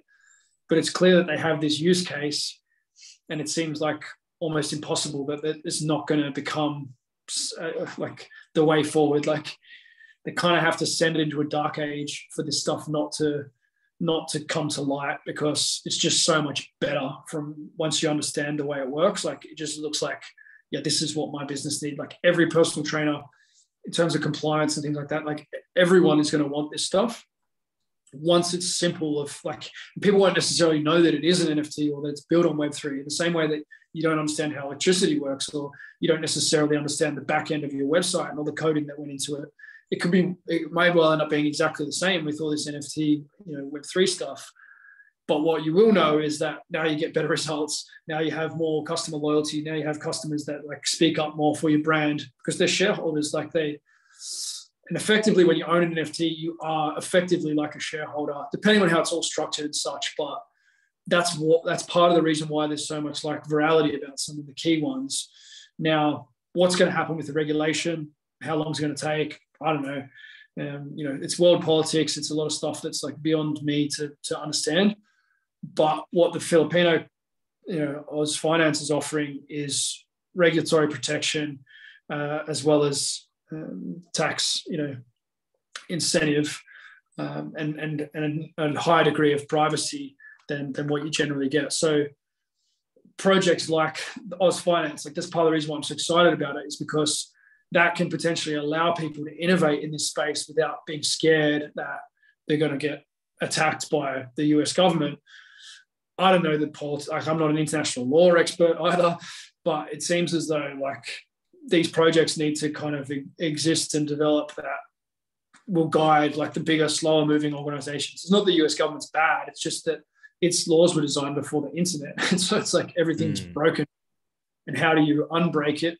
Well, it's not for you know the world's dominant economy and such. So um, yeah, the I, I, do believe everybody's you know a lot of businesses, uh, especially online businesses and people with their own apps and communities and such, it's going to all have this Web three disruption. We may as well learn about it now and participate in it earlier on, and then some people will be potentially the next you know, with Web two, it was Uber, it was Airbnb. Um, these are Web two applications where the, t- the, software layer allowed people to add more value to their physical space, you know, um, or their car. So the software layer added more value to, to the hardware. That's about to happen with uh, online education and video content and things like that. Like the software layer is going to add more value to the stuff that you've created. Um, yeah, it's it's it's very very exciting, and I want people who want to learn about it to have people to talk to about it because a lot of people will say, "Yeah, I've got no one to talk to about you know to this talk about this stuff with," and so uh, yeah, if I can facilitate that, if I can start the conversation, if I can have the conversation, I'm I'm not a tech expert. I'm a balding strength coach who wants to do, do my best. Um, so I, I, I, want to be corrected. I want to be able to have the conversation. I want to be sent links. I want my friends to be into this stuff so that you know we can we can do good things. I can go. I've gone out and found crypto friends as well. I've bought my way into a few crypto societies through NFTs. Like I'm mm. I'm part of the top level in a, in a few different communities because I've bought a bunch of them, and that means I get access to those people. And there's some good people there. And like I have built some really good connections. At the same time, they're not my people in a way. Like there might be one or two of them that are into their training and care about their food, but then there's a lot of them that I know if we hang out, it's we're not going to be hanging out for that long. Like I might go and drink with them and eat junk food for one one day or night just to be flexible in my own mind. Um, that's a challenge for me to actually break my own rules and and uh, my own trends. But yeah, those uh, I want to bring my community to that stuff as well as like interact with that community that that people who already get it, who already made their millions um, in that realm. Yeah, I think that's was an interesting point because regardless of where you're at on the knowledge base, you can put it into layman's terms for people that are going to understand what you're saying better than someone who's maybe a real tech focused person you know? So you can uh, put it in layman's terms to personal trainers coaches and we can kind of digest it a lot easier than you know downloading a podcast and going super deep into the weeds about everything and it's just kind of going over people's heads as well. So yeah i think it's just finding out who's the people who's going to be most receptive to to what you're trying to share as well and everyone's got that in some way. I think that's important concept, Conor, like to generalize and universalize is that you're the best person to teach someone about something that you don't even know that much about.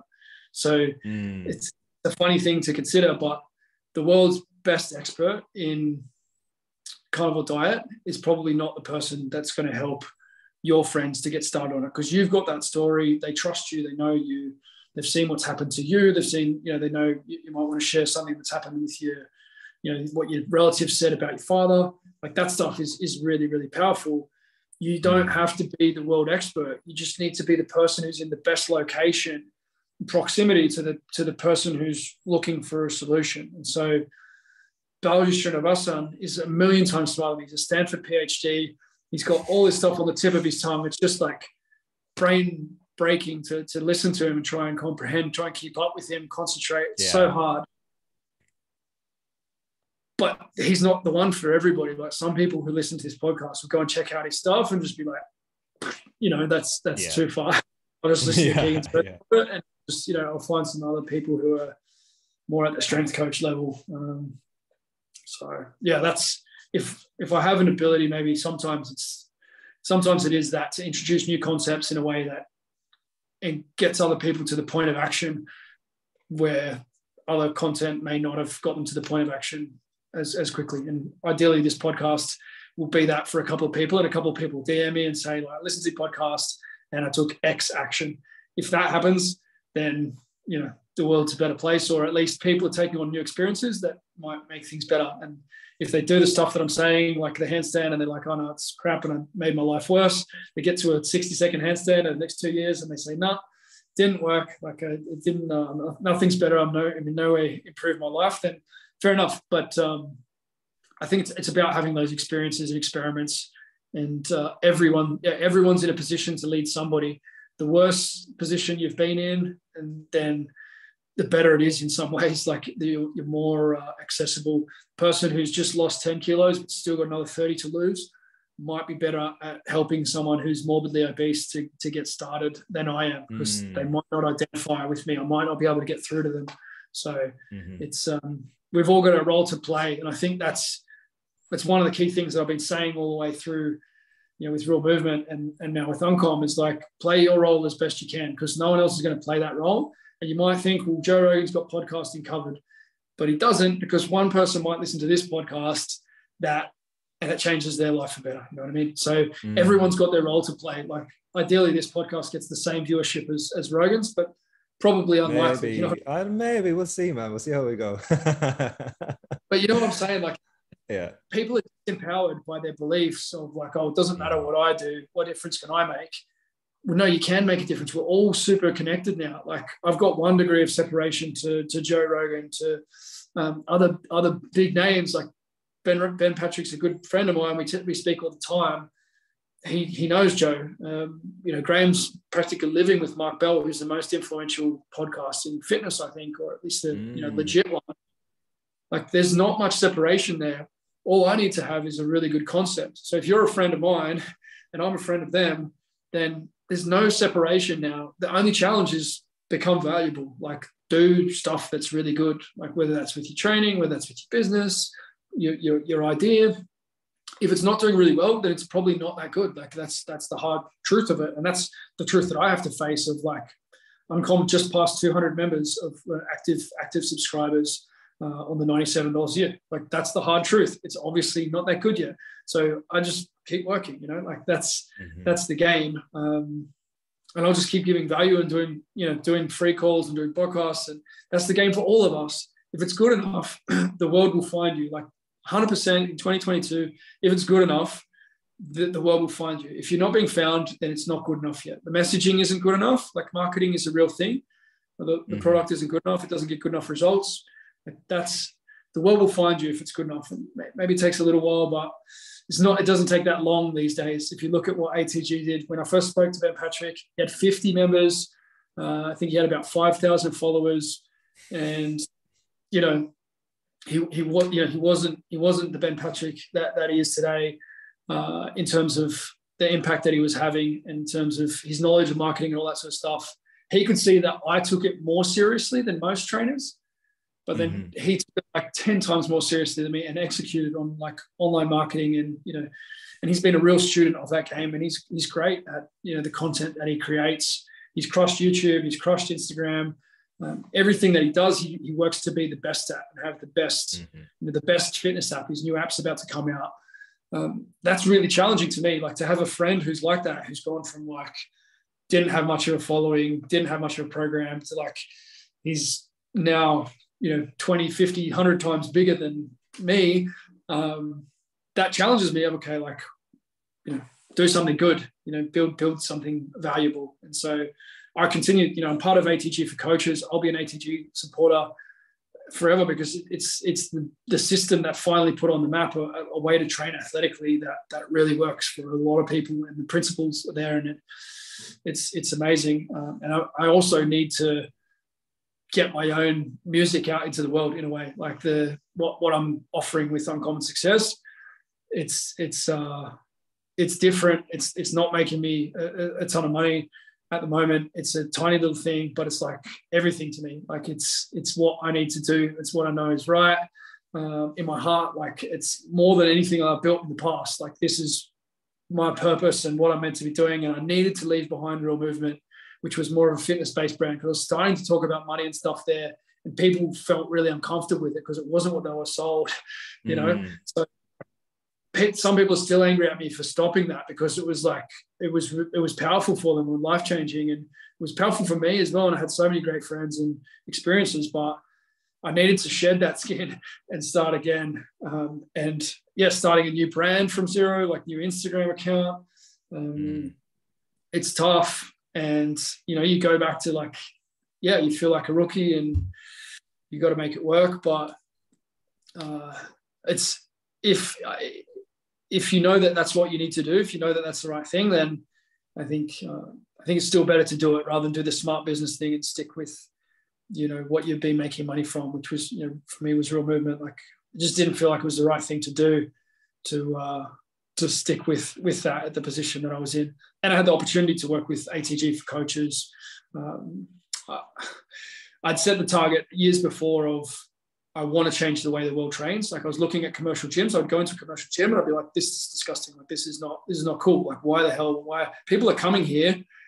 And I can see why they don't come very often. Like the gym model is built around people not turning up for starters. Like, so most yeah. of the money made in gyms is like you sell 20 times more memberships than you have people use your gym, which is crap from the start. Like they, they actually don't want people to come. And then of the people that do come, a lot of them are getting a fraction of the results that they could get because nobody knows anything about training and nutrition. Like it's how you make your body work is the, one of the things that humanity's most ignorant about. So you know that's that's what I wanted to help to kind of solve. And I thought I was going to do it with real movement, but it turned out that you know ATG was a much better vehicle. Like I could already see, well, it's already you know it's on this trajectory. Like why don't I help Ben have a coaches community behind what he's doing? And I think him having a coaches community has been really valuable for the support and the challenges that he's had uh, with product development and with you know negativity towards what he's doing and stuff like having hundreds of coaches who are behind you who are knowledgeable people um, i think is, is really powerful everybody needs that support network behind them or would do better with it behind them so that's part of you know part of what we're doing with the uncommon success but um, yeah that's that's the that's the situation that that i'm in you know right now and um, yeah, I would encourage other coaches and people to continue to reinvent themselves and not be boxed in by what you think other people's expectations are of what conversations you're allowed to have and what conversations you're not allowed to have because you're going to upset people. Like, mm-hmm. Yeah, you're definitely talking about a lot of stuff. I guess that's probably well, that I'm I'm guessing that's why you've been so successful is you're you're kind of seeing the trajectory of things and you're moving before you get there or before things get there. Um, so how do you deal with negativity or people being like you've you know you've got you've lost it and you know two years time you're right or maybe three years time but you're kind of weird in the moment so how do you deal with that kind of maybe uncertainty around what you're putting your your brand or your voice behind? Yeah it's it's it's, it's hard man. Like it's it's tough when you know recently i was called out as like a basically like a scammer and um you know people were saying that i'm sort of sold out or, or whatever because I'm talking about money now and I'm talking about like the experience that I had with Paul. And people are going to get triggered if you talk about money, if you, if you talk about cryptos, if you talk about NFTs, you know, people put people put shit on like the fact that I have an NFT now. Um, I've got there, there 88 NFTs and only 36 of them have, have sold. Like I didn't. if you understand anything about NFTs, that means that like it hasn't been a, a raging success uh, in terms of the way NFT sales and stuff is done. I don't care because I'm using it in a different way with different goals. I know where I'm going. I know what community I'm building. And most of the people who I want to sell my NFT to don't own an NFT yet. They don't know what it is. And so it's really bad business to try and sell a product that people don't want and they don't know about. Um, you don't try and sell them a product, but I don't care because I can see where it's going. And gradually people are becoming more aware of, oh, this is where it's going. Um, the NFT is 50% off anything that we do in our community. So if you were to want to have a house in Vanuatu, you're literally going to have 50% off your house.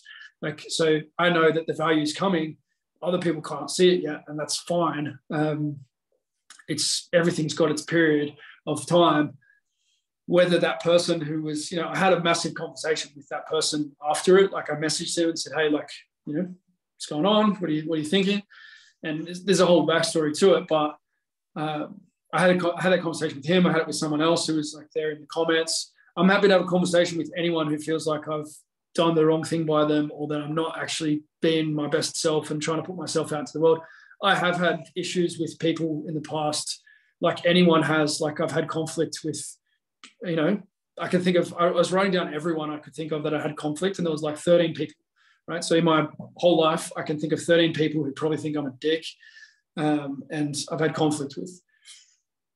Okay, like I, ideally, I would be able to resolve that with with all of them um, if I can find some of them and whatever. But like that's life. You're not going to be at peace with everybody. Everyone's not going to love you, but it is tough when someone says like, I, I think you know, I think you're a liar and a cheat, whatever. I'm like, well, all I see is that I'm working from sun up to sundown a lot of days, offering more value than anyone that I know of uh, I'm doing one-to-one calls with people for free all over the world. Uh, I'm, I'm doing my like I'm literally like working myself to the point of it being too much sometimes because I care about this so much and because I really want it to work. For sure, there's an orange part of it, like of like I want it to work as a business. Like it, it's on all the levels that like I want it to work. Um, it's tough, man. It is tough, but like I would rather it be tough. I would rather be criticized than not do what I know I need to do.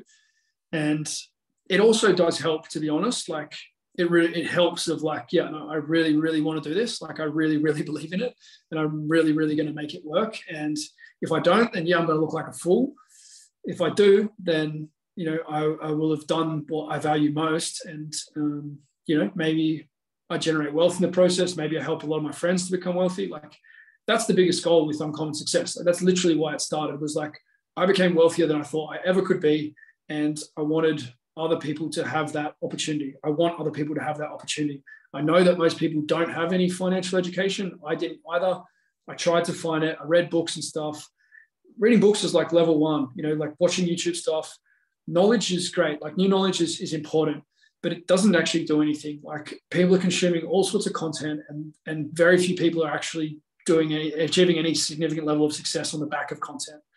The next level is to take action, and very few people uh, have the accountability around action. It gets tough, it gets confusing, you're not quite sure. You get to a block and you just fall off and you never come back, or you come back five years later and you missed out on all sorts of different things.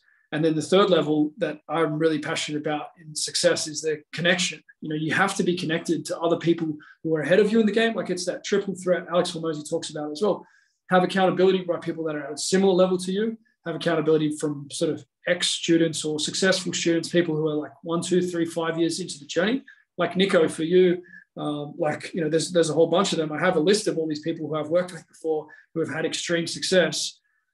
That's the next level, and then you know the level above that is like uh, mentors who are a million miles above where you want to be, who you hope one day that you could meet and shake their hands. And my goal is to have people like you know Jordan Peterson and Jocko Willink and Joe Rogan and David Goggins I, I think I'm going to be able to convince them, and maybe I'm batshit crazy, but I think I'm going to be able to convince them to offer like an hour of their time to speak to our community, or even an hour of their time to one person in our community who has achieved extreme levels of progress, that's been extremely disciplined, that's turned up to these 25 day challenges and they've done everything and they've shown like this is what happened with my bank account, this is what happened with my body. And we can prove like concrete results, extreme discipline, you know, massive production, achievement I think that people like that will be willing to interact and donate and participate in things like this. Um, I've floated it to a few people who I really respect, and they're like, "Yeah, of course. Like, I definitely like. I would love to speak to someone who's had that huge transformation in themselves if they think that that conversation could help them." Um, so. Mm yeah, like every day at the moment, I'm come like there's new stuff coming to me. It's like the ideas use me as a concept that Bob Proctor introduced to me. The biggest investment I've ever made in myself was to go and spend five or six days in Hawaii with Bob Proctor. One of the things that he says is like that the ideas use you, like you put yourself to the service of the ideas that that come to you, and uh, that's how it feels to me. I, I, and I think that my best life is whatever ideas come to me, like wherever they're coming from, God, universe, somewhere in the recesses of my history, genetic code, I don't know, I don't care. But those, those, those like ideas, that's what I treasure most is like the thing of like, so when I'm speaking to someone, when I'm doing like mentoring, if you want to use that word, I'm trying to get to like, what do they really want? What have they done in the past that like in terms of skills, like what skills have they believed they, they developed? What beliefs do we need to crash and put to the side of like, oh, there's no money in this? Like, well, let's analyze that belief and see if that's a valuable one, if it's valid. If it is, then good. If it's not, then you know, maybe we can replace that belief with something that you know, helps you um, get to another level. So if we can improve skills, improve beliefs, and then improve traits, which is the consistency stuff that we're doing, which the handstand and the juggling, that's traits um, development more so than I don't I care less about the skills than I do about the traits and the beliefs. So those things act on the level of the traits and the beliefs. Um, but yeah, I, I, I, do think that I'm I'm crazy enough to think that extremely successful people are going to want to come to the the physical locations, come to events, um, donate, you know, can put an hour of their time towards it, and we can pay pay them for their time as well. But I think some people would probably rather do it for nothing because they love it and they can see the work that's gone into it than to be paid for something. It's it's both things are good and we'll, do both. Like I'll pay super high end speakers to come to things for Uncom members, and it'll be the members with the NFTs and the members who've achieved the the most, you know, doing the work. Like they'll be the ones who get access because. And, and to be honest, like sometimes it'll be the ones that can pay the most as well. Like that's okay too, because money is the cleanest form of exchange. Like hating people for making money is, is, is a dangerous world that you create uh, because you hate achievement at that point. And so many people deeply reject money. And so they're deeply rejecting achievement. And to reject, reject achievement, you, you reject your biggest ideas, you reject things of like, well, I don't need that much money. Therefore, I don't need to be that good at anything. Therefore, I don't need to provide that much value to the world. Um, the the bank the um, what's his name the the YouTuber I'm thinking of Banksy now because we had Bansko but uh, Mr. Beast podcast, that was a phenomenal expansion of my way of thinking of about money. It's like, hey, you don't actually need, who cares whether you hold on to the money or not? All you need to be able to do is access the money. If you can access massive amounts of wealth, then you're wealthy. He can do whatever he wants. He can work for whoever he wants. He can get the amount of money that he needs to do whatever he wants because he's Mr. Beast. He's the most successful YouTuber. So he could go and work for any marketing agency. Go, he, he has complete freedom to do whatever he wants, despite not keeping any of the money. But he's extremely wealthy because he's the most powerful man on YouTube in a way. Like he's the most successful person on YouTube. So I could care less whether people, you know, it doesn't matter whether you keep any of the wealth or whether you save it to buy villages or whether you, whatever you do, but be the person who has that because the, for the majority of people, the only way they're going to access money is to become more valuable. Like if I talk to people, okay, like get wealthy, they think about becoming smarter at, at what, what they do with their money and being of more service to people. You know, a, a very small percentage of people go to like, you know, illegal activity, illicit activity, which is kind of the connotation that being wealthy has of like, oh, you have to be a bad person. Very few people that are wealthy uh, have done it in that way. And nobody in my experience has resorted to those sorts of things when we started to talk about um, becoming wealthy. So yeah, it's, uh, it's a tough, it's a tough one to crack. And some people might be triggered by this conversation now of like, well, I, I just need, I need just enough. The amount of people that say that, it's an excuse to not achieve.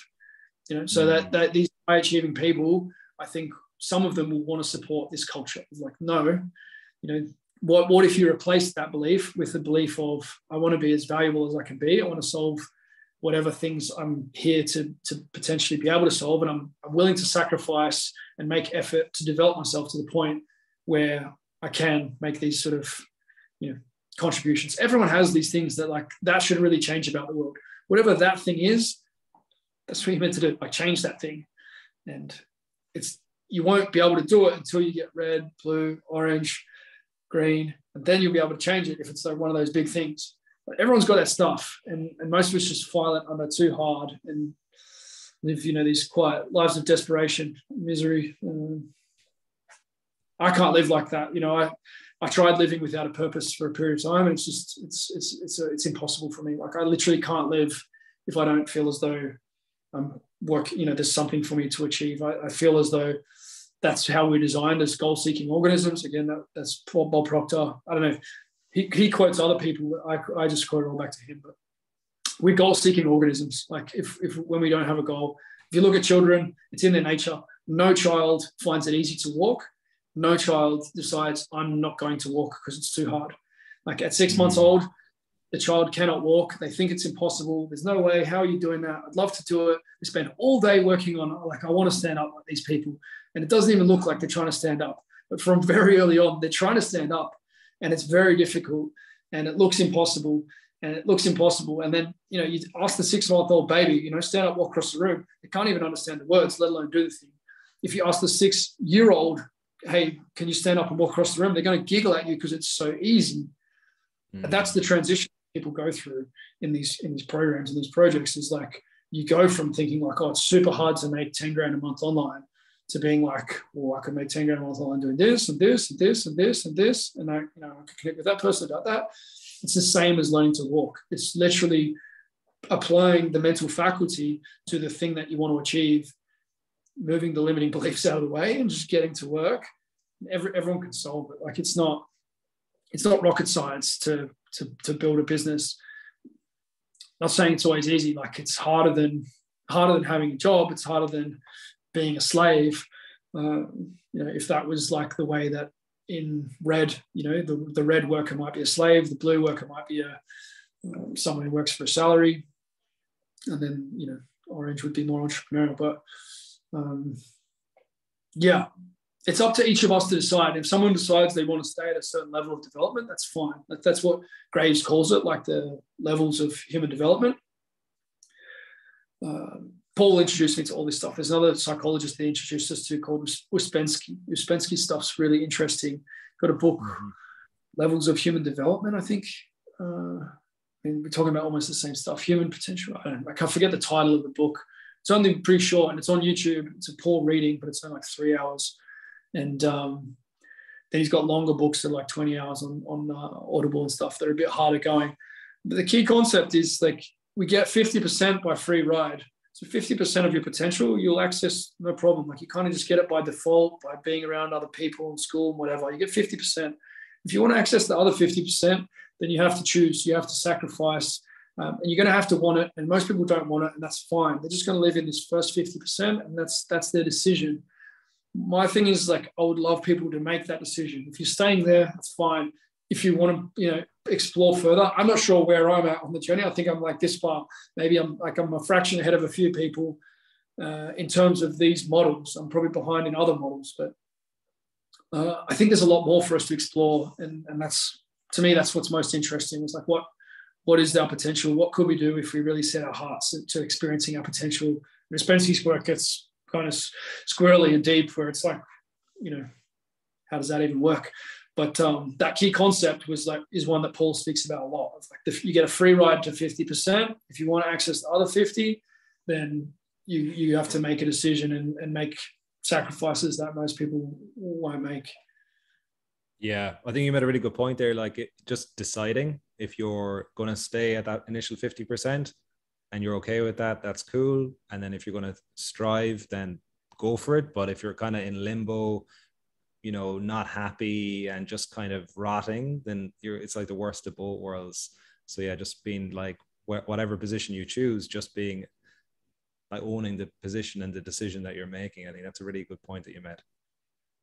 Yeah, yeah, I can't, I can't be that person who's got like a nine to five, goes to the pub, and you know, lives. Uh, I just, I knew from early on that that was never going to be me. I, I wrote an essay about it at school. The one English assignment that I got a decent result was just slamming mediocrity in the school system, basically, and I, I got a good result for that one. I wasn't great at English, uh, writing hasn't been a strength or something that's come naturally to me, um, grammar and all those things.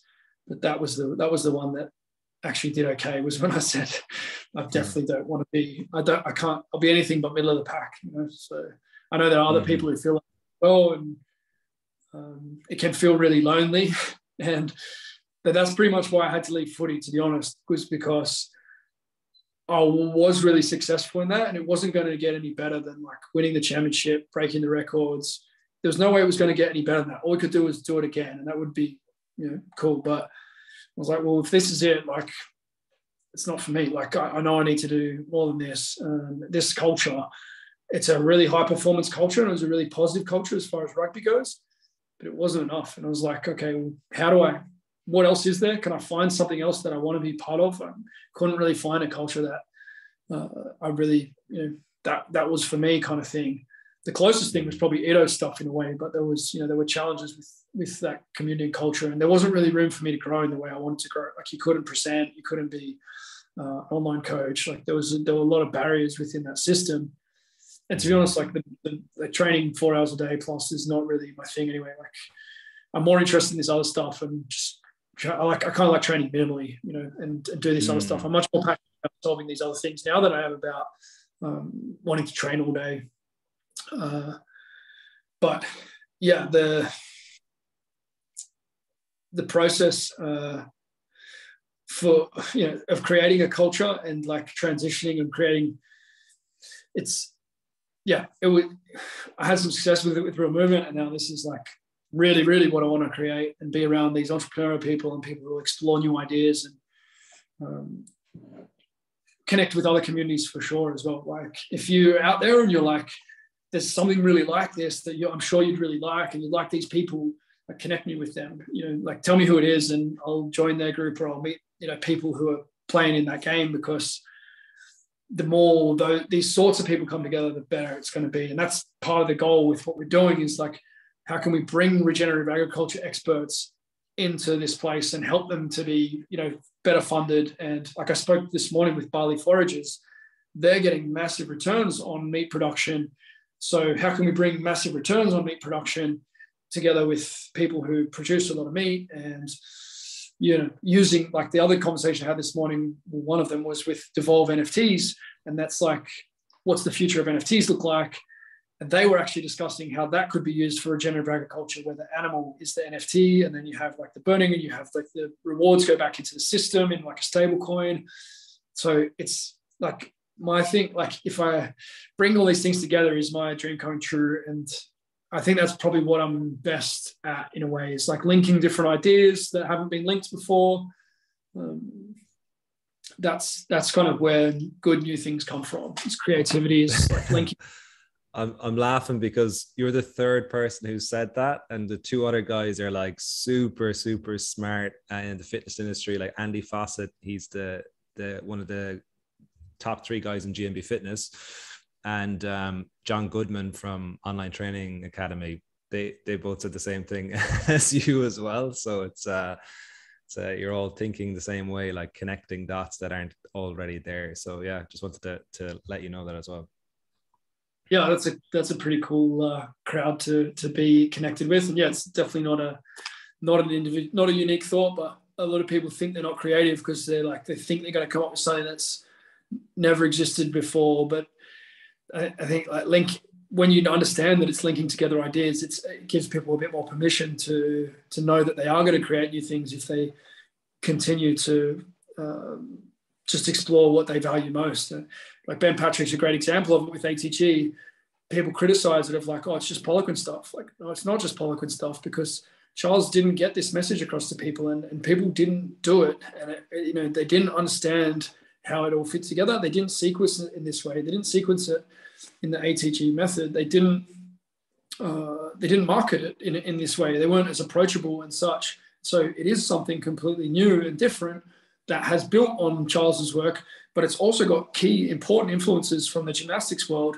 You know that are key parts of the system. And Jeff Wolf worked for gymnastic bodies, and he made contributions to the ATG um, system, and that gymnastic component is extremely valuable. To so to say it's all just Charles, no. Like, and Ido was influenced by Charles, but I don't think uh, Coach Sommer necessarily was that uh, influenced by Charles. I don't know. Ch- Coach Sommer was massively influenced by Greg Glassman. I think you know he was one of the early you know participants in uh, in CrossFit, um, and uh, so was Ido Portal. I think Ido Portal had the first CrossFit outside of the states, uh, if I if I'm not right. mistaken.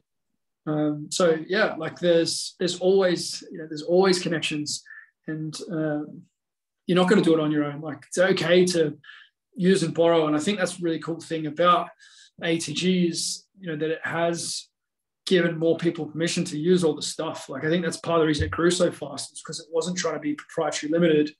it was like here it is on YouTube. I'm explaining it the best way I can, and people felt like that was really generous, and so they reciprocated with generosity, and it grew to tens of thousands of members like in record time. Um, it's now mm-hmm. probably the most influential, most used system in training. Charles didn't want to do that. Charles was premium, working with Olympic champions, the most expensive gym in town. Charles had a different ambition and he created something different. Ben should get credit for creating something that's different and unique and, and solved in his own way. And, and, everybody should solve in their own unique way. No one, everyone who tries to be Ben Patrick, like people are kind of trying to be Ben Patrick in a way, like some out of respect and out of like whatever, but people are modeling off Ben. That's great and do it as best you can. You're never going to be Ben Patrick. Like if you like soccer more than you like basketball, then you're already not Ben Patrick. If you're 22 instead of 30, then you're not Ben Patrick. If you have children or you don't have to, like, you know, every individual difference means that the product will be different. Your experiences, everyone's had those unique experiences. So everyone has something important and unique to create. Even if you think you're trying to create exactly the same thing, like some of what I've created now is quite similar to Garrett J. White's um, Warrior program. It's like a men's development program. Uh, I went over, I flew over to the United States to do it. I think it might have been $3,000 US for 36 hours. You stay, stayed in a hotel and then um, yeah, went and did all this all these stuff, and it was kind of like a military type style of thing. They make it, made us get really cold in and out of the ocean. It was like 11 degrees outside, windy, um, in the night, like middle of the night, getting in and out of the ocean for hours and hours. I was the skinniest guy there, and I was shivering like crazy. I sort of was looking at what he was doing and like, yeah, I really want to do this. Like, and I felt almost bad because it's like, I want to do this. Like, this is like men's this men's development stuff, like accountability, people getting rich. Like, this is really cool that was like 2017. And I even said it, I think, in the sales process of like, man, like I kind of help men to get their stuff together and go to a next level. I also work with a few women, but it's like 99, you know, 95%, 90% men. And um, yeah, it's, you know, whatever. Um, but the, I felt like it was so, it resonated with me so strongly that I felt bad about like doing my own version of it in a way. But now I'm doing it, and it's like no one would even recognize that. Like, there's no connection now. Like, it's so different to what he offered and how he offered it, mm-hmm. and like the whole thing is like so different. But at one stage, like I was kind of offering like a fraction of what he was offering in terms of you know, the um, the accountability and stuff and the event style.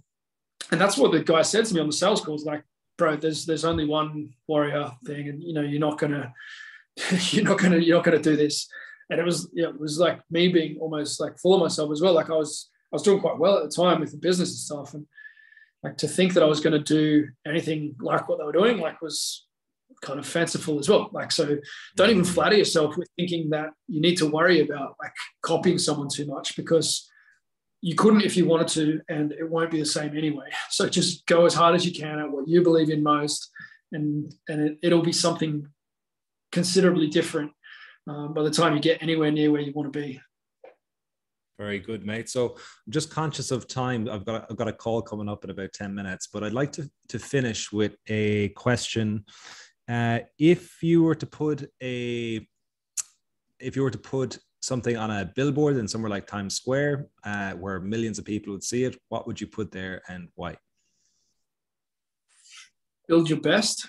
Build your best life. This is uh, pretty much at the core of it. Yeah. I think if if if if you just woke up each morning and thought about that, um, it'd probably be a good thing. A friend of mine has a test of like the first five seconds of the day. If you don't feel excited about the day, then you're doing it wrong. Um, so that would be like a lit- litmus test for this sort of billboard slogan. And if you feel like that's not you're not at that point right now, where you get out of bed and you're, you're quite excited for it, then like drop me a DM. I'm pretty good at helping people go from the position where they're not that excited about life to where they've got some stuff that they're working on. They're like, yeah, I'll get, I'll get out of bed today. Like, I'll, I'll get this done. Mm. We'll even get into the Jordan Peterson thing of like, I'll get out of bed and I'll make it straight away, and then I get my first win for the day. Um, that, to be honest, like I wasn't really consistently making my bed until that that it was literally Jordan Peterson. Like I literally took that on. Like I had success in other things, but it was in the last whatever a few years when I when I heard that, and maybe Akira Akira the Don with his creativity, like maybe that's a that maybe that's a better question for you, uh, Conor. To uh, if you had to make a song with Akira the Don, what what lyrics would you put in there? If you haven't checked out Akira the Don, then you're Who's definitely in, in for a treat he's put music to like Rogan, Jocko Willink, uh, Elon Musk, right. Naval. It's the mm. best stuff. I play it to my kids, and that it's like one of the Elon Musk ones is like, if you don't make stuff, there is no stuff. Yeah, that, that that would probably be on the other billboard across the street. Like I love that. Like the, all the anti-capitalist kind of communist sentiment out there of like, oh, we'll just you know, we'll UBI like we'll, we'll pay people welfare to make the economy work. So no, if you don't make stuff, there is no stuff. Like we have to create, we have to keep making stuff. You can't mm. just make money. Like money is nothing. It's it's a tool that facilitates the exchange of, of real stuff that real people make in their minds and with their hands. And so uh, yeah, that like I've, my children have that kind of burnt into their brain from listening mm. to that song on loop while we're playing Lego. You know, and I, I say like if you don't make Lego, there is no stuff. And yeah, like we talk about. So uh, yeah, Akira stuff. Akira stuff is uh, is phenomenal. So um, yeah, one more potential gem for those who made it to the end of the podcast. I know if you, if you got to, you got to Akira, then you're one of the hardcore few uh, who yeah. persisted. So build your best, and the first five seconds of the day. If you're not excited, then send you a DM, and that's just a, a kind of a metric to to see if things are on track. If you if you need a bit of help. Yeah, the first five mate. seconds win, then do something about it. Like don't don't settle for that. Something needs to change. Maybe you don't need to do all this stuff that I'm talking about, but you, you need to do something because life's meant to be good. I'm, I'm pretty sure of that. Yeah. And I've well, been Keegan, down too. Yeah, for sure, what, mate. I know what it's like to be down, and it's not it's not a place to live. Like do something about it because you can change it. And the nutrition, like, there's a lot of stuff. Listen to the podcast again. There's a lot of tips there. With Conor said mm. and, and shared, but we're here to help you. You know, that's that's uh, that's what we're, we're both about. And there are a lot of people out there like us who, who want people to live better, have a better experience of life. Uh, and I'm, I'm just a player in the game, same as same as everyone else, working hard. Thanks so much, Conor. Thank you, mate. I was really excited about the podcast, and um, just there was so many things to talk to you about. But yeah, you just knocked it out of the park, mate. So before I let you go, where where do you want people to you know look up more about what you're about is it social media is your website or what's the best place to check out more about what you're doing yeah so atg you can check out on atg for coaches com if you want to join ATG for coaches. Uh, Uncommon Success is uh, so ATG for coaches $100 a month. There's a discount code for the first month. That's a phenomenal community. You get direct contact with Ben Patrick pretty much every day in the pulse. Like there's uh, there's there's an extreme level of support that is uncommon in uh, in coach development programs. I never gave the sort of value that he gives, and it's it's very cheap for what you get, in my opinion and experience. Uh, then uncommonsuccess.com, all spelled how it should be spelled, is how you can become part of Uncommon Success. It's ninety seven dollars. You get an onboarding call with a member of the team, and then if you complete the onboarding process, then you get a call with me as well. So you get a call with me as well. Uh, we'll we'll have some one to one time. I'm not going to be able to do that up to 10,000 members, but I can definitely do it at the moment. And I will be excited to meet you literally, and genuinely. So uncommonsuccess.com. Uh, in terms of just follow my stuff, like there's a YouTube channel for Uncommon Success and there's one for ATG for coaches and uh, ATG Mentor on Instagram and Uncommon Success, Uncommon under, underscore Success on Instagram. But if you DM on ATG Mentor, uh, that's that's probably the best place to initiate a conversation um, it's where I'm most most contactable. So thanks so much for having I'll me. Make sure. Um, my pleasure, mate. I'll make sure and link all that in the show notes as well. Okay. Champion. Thank you. Awesome.